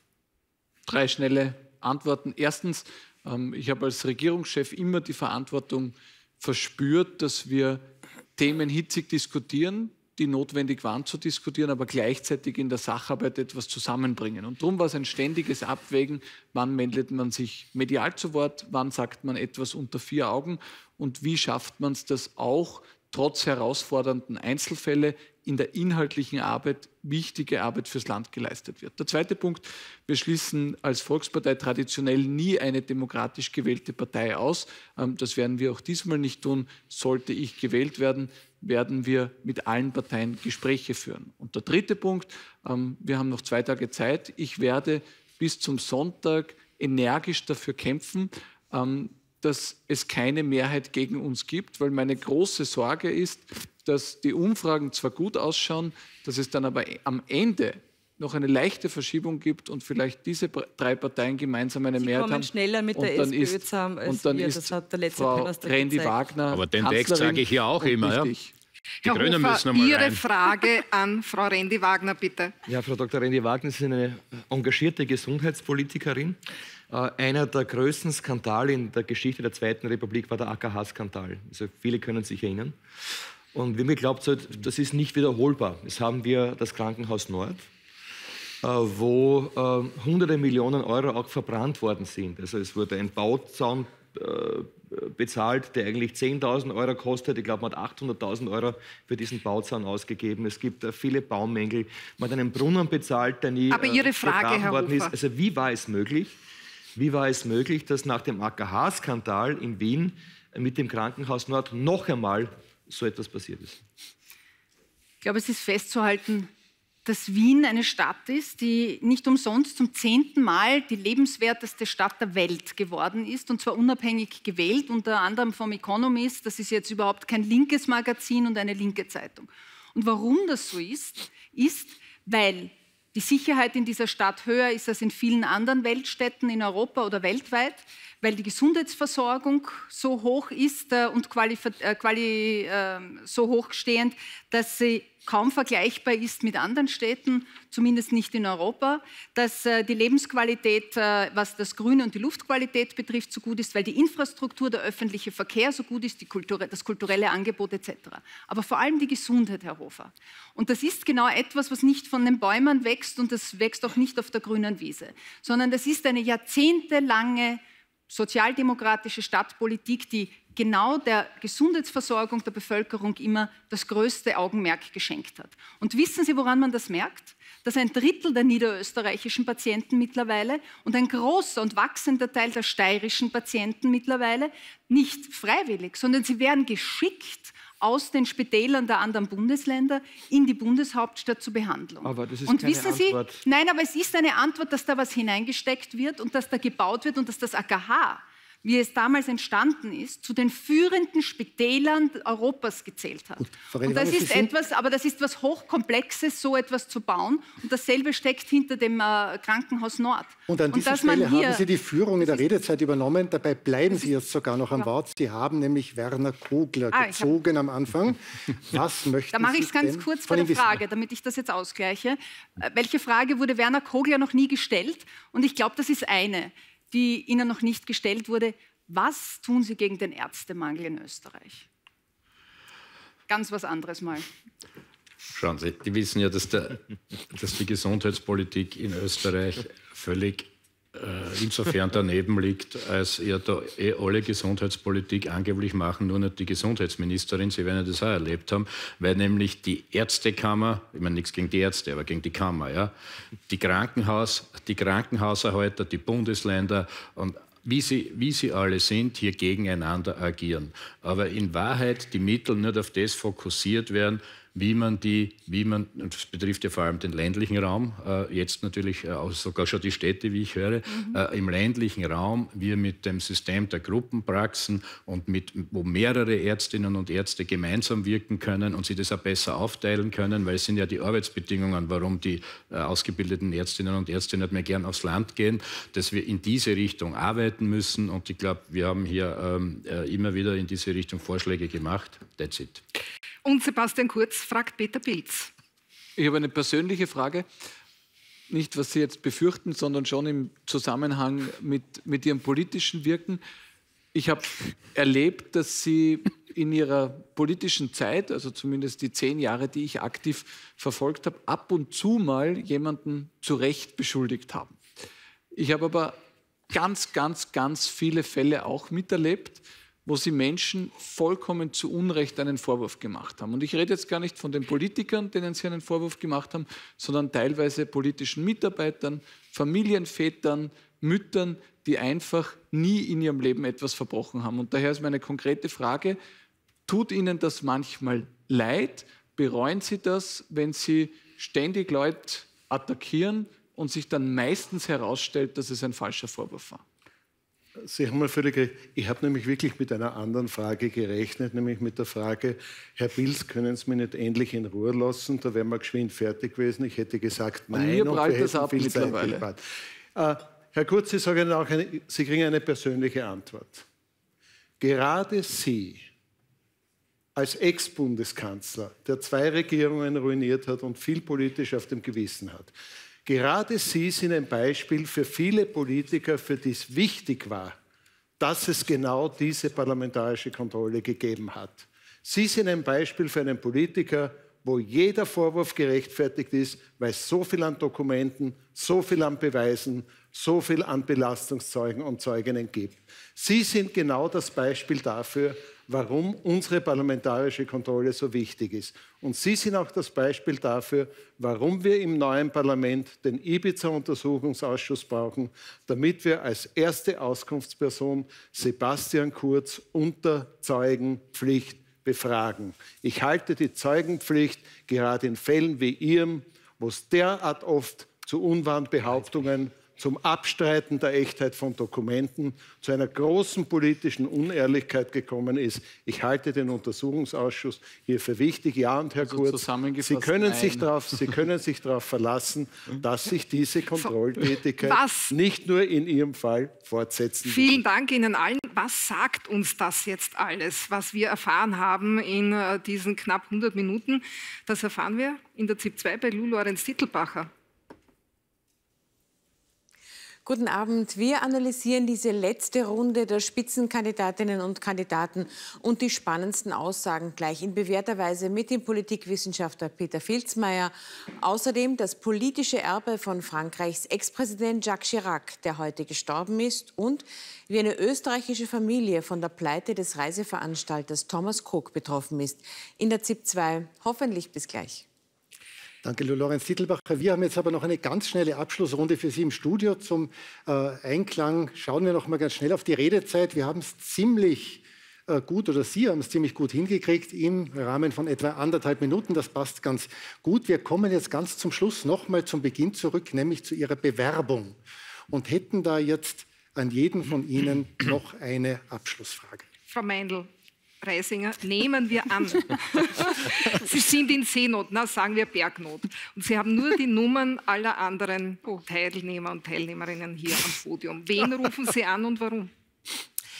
Ich habe äh, dem Sebastian Kurz bei einem der vielen, vielen, vielen Duelle ähm, eine äh, Stirnlampe. geschenkt, damit er Licht ins Dunkel der Parteifinanzen... keine Batterien drin. Der, wirklich, das tut mir unendlich leid, das werde ich nachreißen. Also rufen Sie wen anderen an, falls es Aber darf ich bitte aussprechen? Also ich habe Ihnen diese Stirnlampe gegeben, also Sie damit, sie, äh, Licht, damit Sie Licht ja, ins Dunkel der ähm, ÖVP-Parteifinanzen bringen können.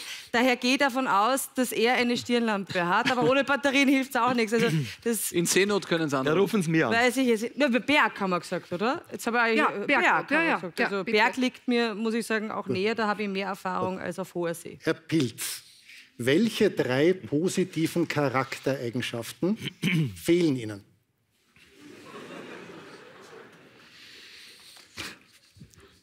Das ist richtig. Können Sie mir irgendwie helfen? so gut kenne ich Sie nicht. Na gut, welche positiven Charaktereigenschaften fehlen mir? Das wird helfen. Naja, Nein, weil da kommt was Falsches raus. Also mir fehlt möglicherweise Sanftmut. Möglicherweise, aber da, da, da beginne ich schon zu zweifeln, möglicherweise fehlt mir sogar Bescheidenheit. Und eine dritte fällt mir einfach nicht ein. Herr Hofer, wie vereinbaren Sie Familie und Beruf?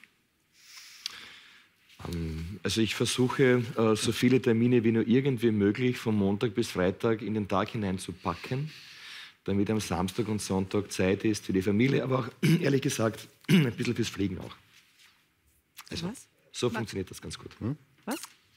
Ich habe es jetzt nicht verstanden am Schluss. Ich versuche, von Montag bis Freitag Termine hineinzupacken, damit Samstag und Sonntag Zeit bleibt für die Familie und auch ein bisschen fürs Hobby, auch für die Fliegerei. Wir merken, der Wahlkampf und die Stimmduelle sind schon ein bisschen lang, geht schon auf die mhm. Stimme. Frau Rendi-Wagner, was ist das Verrückteste, das Sie je gemacht haben? Parteivorsitz. Nicht den Parteivorsitz der SPÖ. Parteivorsitz. Ah, ich glaube, das liegt noch vor mir, Herr Wolf. Das glaube ich nicht. Irgendwas, Sie haben noch nie was Verrücktes gemacht. Na schon verrückt, aber das Verrückteste, ich glaube, das liegt Sagen Sie irgendwas Verrücktes. Ich, ich, bin jetzt jemand, der, der nicht so risikofreudig ist. Glaubt man jetzt vielleicht nicht. Also ich entscheide mich immer sehr bewusst ähm, und äh, versuche das alles, das Risiko sehr gut auszukalkulieren. Ähm, das glauben Sie mir vielleicht jetzt nicht, was die letzten Monate oder das letzte Dreivierteljahr meines Lebens betrifft, aber das ist so und das war so. Äh, also ich würde das nicht als das risikoreichste oder so irgendwie hat es geklungen. Verrückteste. Verrückteste. Na, verrückt ist das schon gar nicht. Ja. Also äh insofern äh, fällt mir das Verrückteste ähm, Sie sind ja, mal zu spät in die Schule rein. gekommen. Nein, nicht einmal das.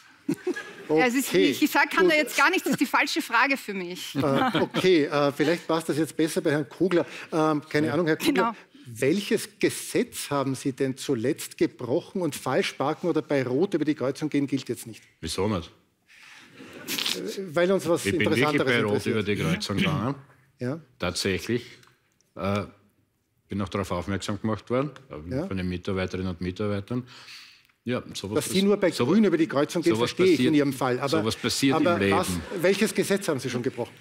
Na, das, die Straßenverkehrsordnung. Ja, ich weiß nicht, helfen Sie mir. Auch so gut kenne ich Sie auch nicht. Ja, also, also ich lasse es einmal, ich lasse es einmal bei der, bei der Straßenverkehrsordnung an dieser Stelle. Die Sonntagszeitung zahlen Sie immer. Also, das, kann ich, das liegt schon sehr, sehr weit, das liegt jetzt schon sehr, sehr weit zurück, dass das möglicherweise irgendwann einmal anders gewesen sein könnte. Aber ich habe jetzt ja dauernd die E-Papers am, am, Screen. Ja, also jetzt gibt es keine Sonntagszeitung schon bald mehr. Herr Kurz, bei einem Bewerbungsgespräch gibt es auch immer diese Frage, wenn man sich um ein Amt bewirbt oder um einen Posten, und in diesem Fall an Sie, was spricht denn gegen Sie als Bundeskanzler? Ich glaube, für all jene, die, andere, die eine andere politische Einstellung haben, spricht meine inhaltliche Linie gegen mich, weil ich bin jemand, der sehr klar ist in seiner Position. Ich werde meine Positionen auch nicht ändern.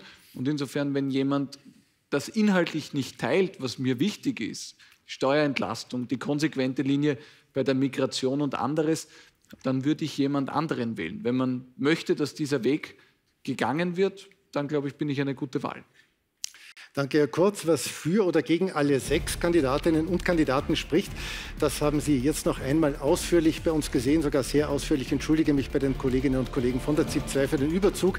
Auf ORF 3 gibt es übrigens gleich nach der ZIP 2 ab 22.45 Uhr noch eine Runde der Wahlbeobachter, die unser Gespräch analysieren. Wir danken unseren Gästen für die Diskussion, dem Publikum hier im Studio, aber vor allem Ihnen zu Hause für Ihr Interesse. Bitte gehen Sie am Sonntag wählen. Demokratie lebt von Beteiligung. Derweil von uns allen hier noch einen schönen Abend. Auf Wiedersehen.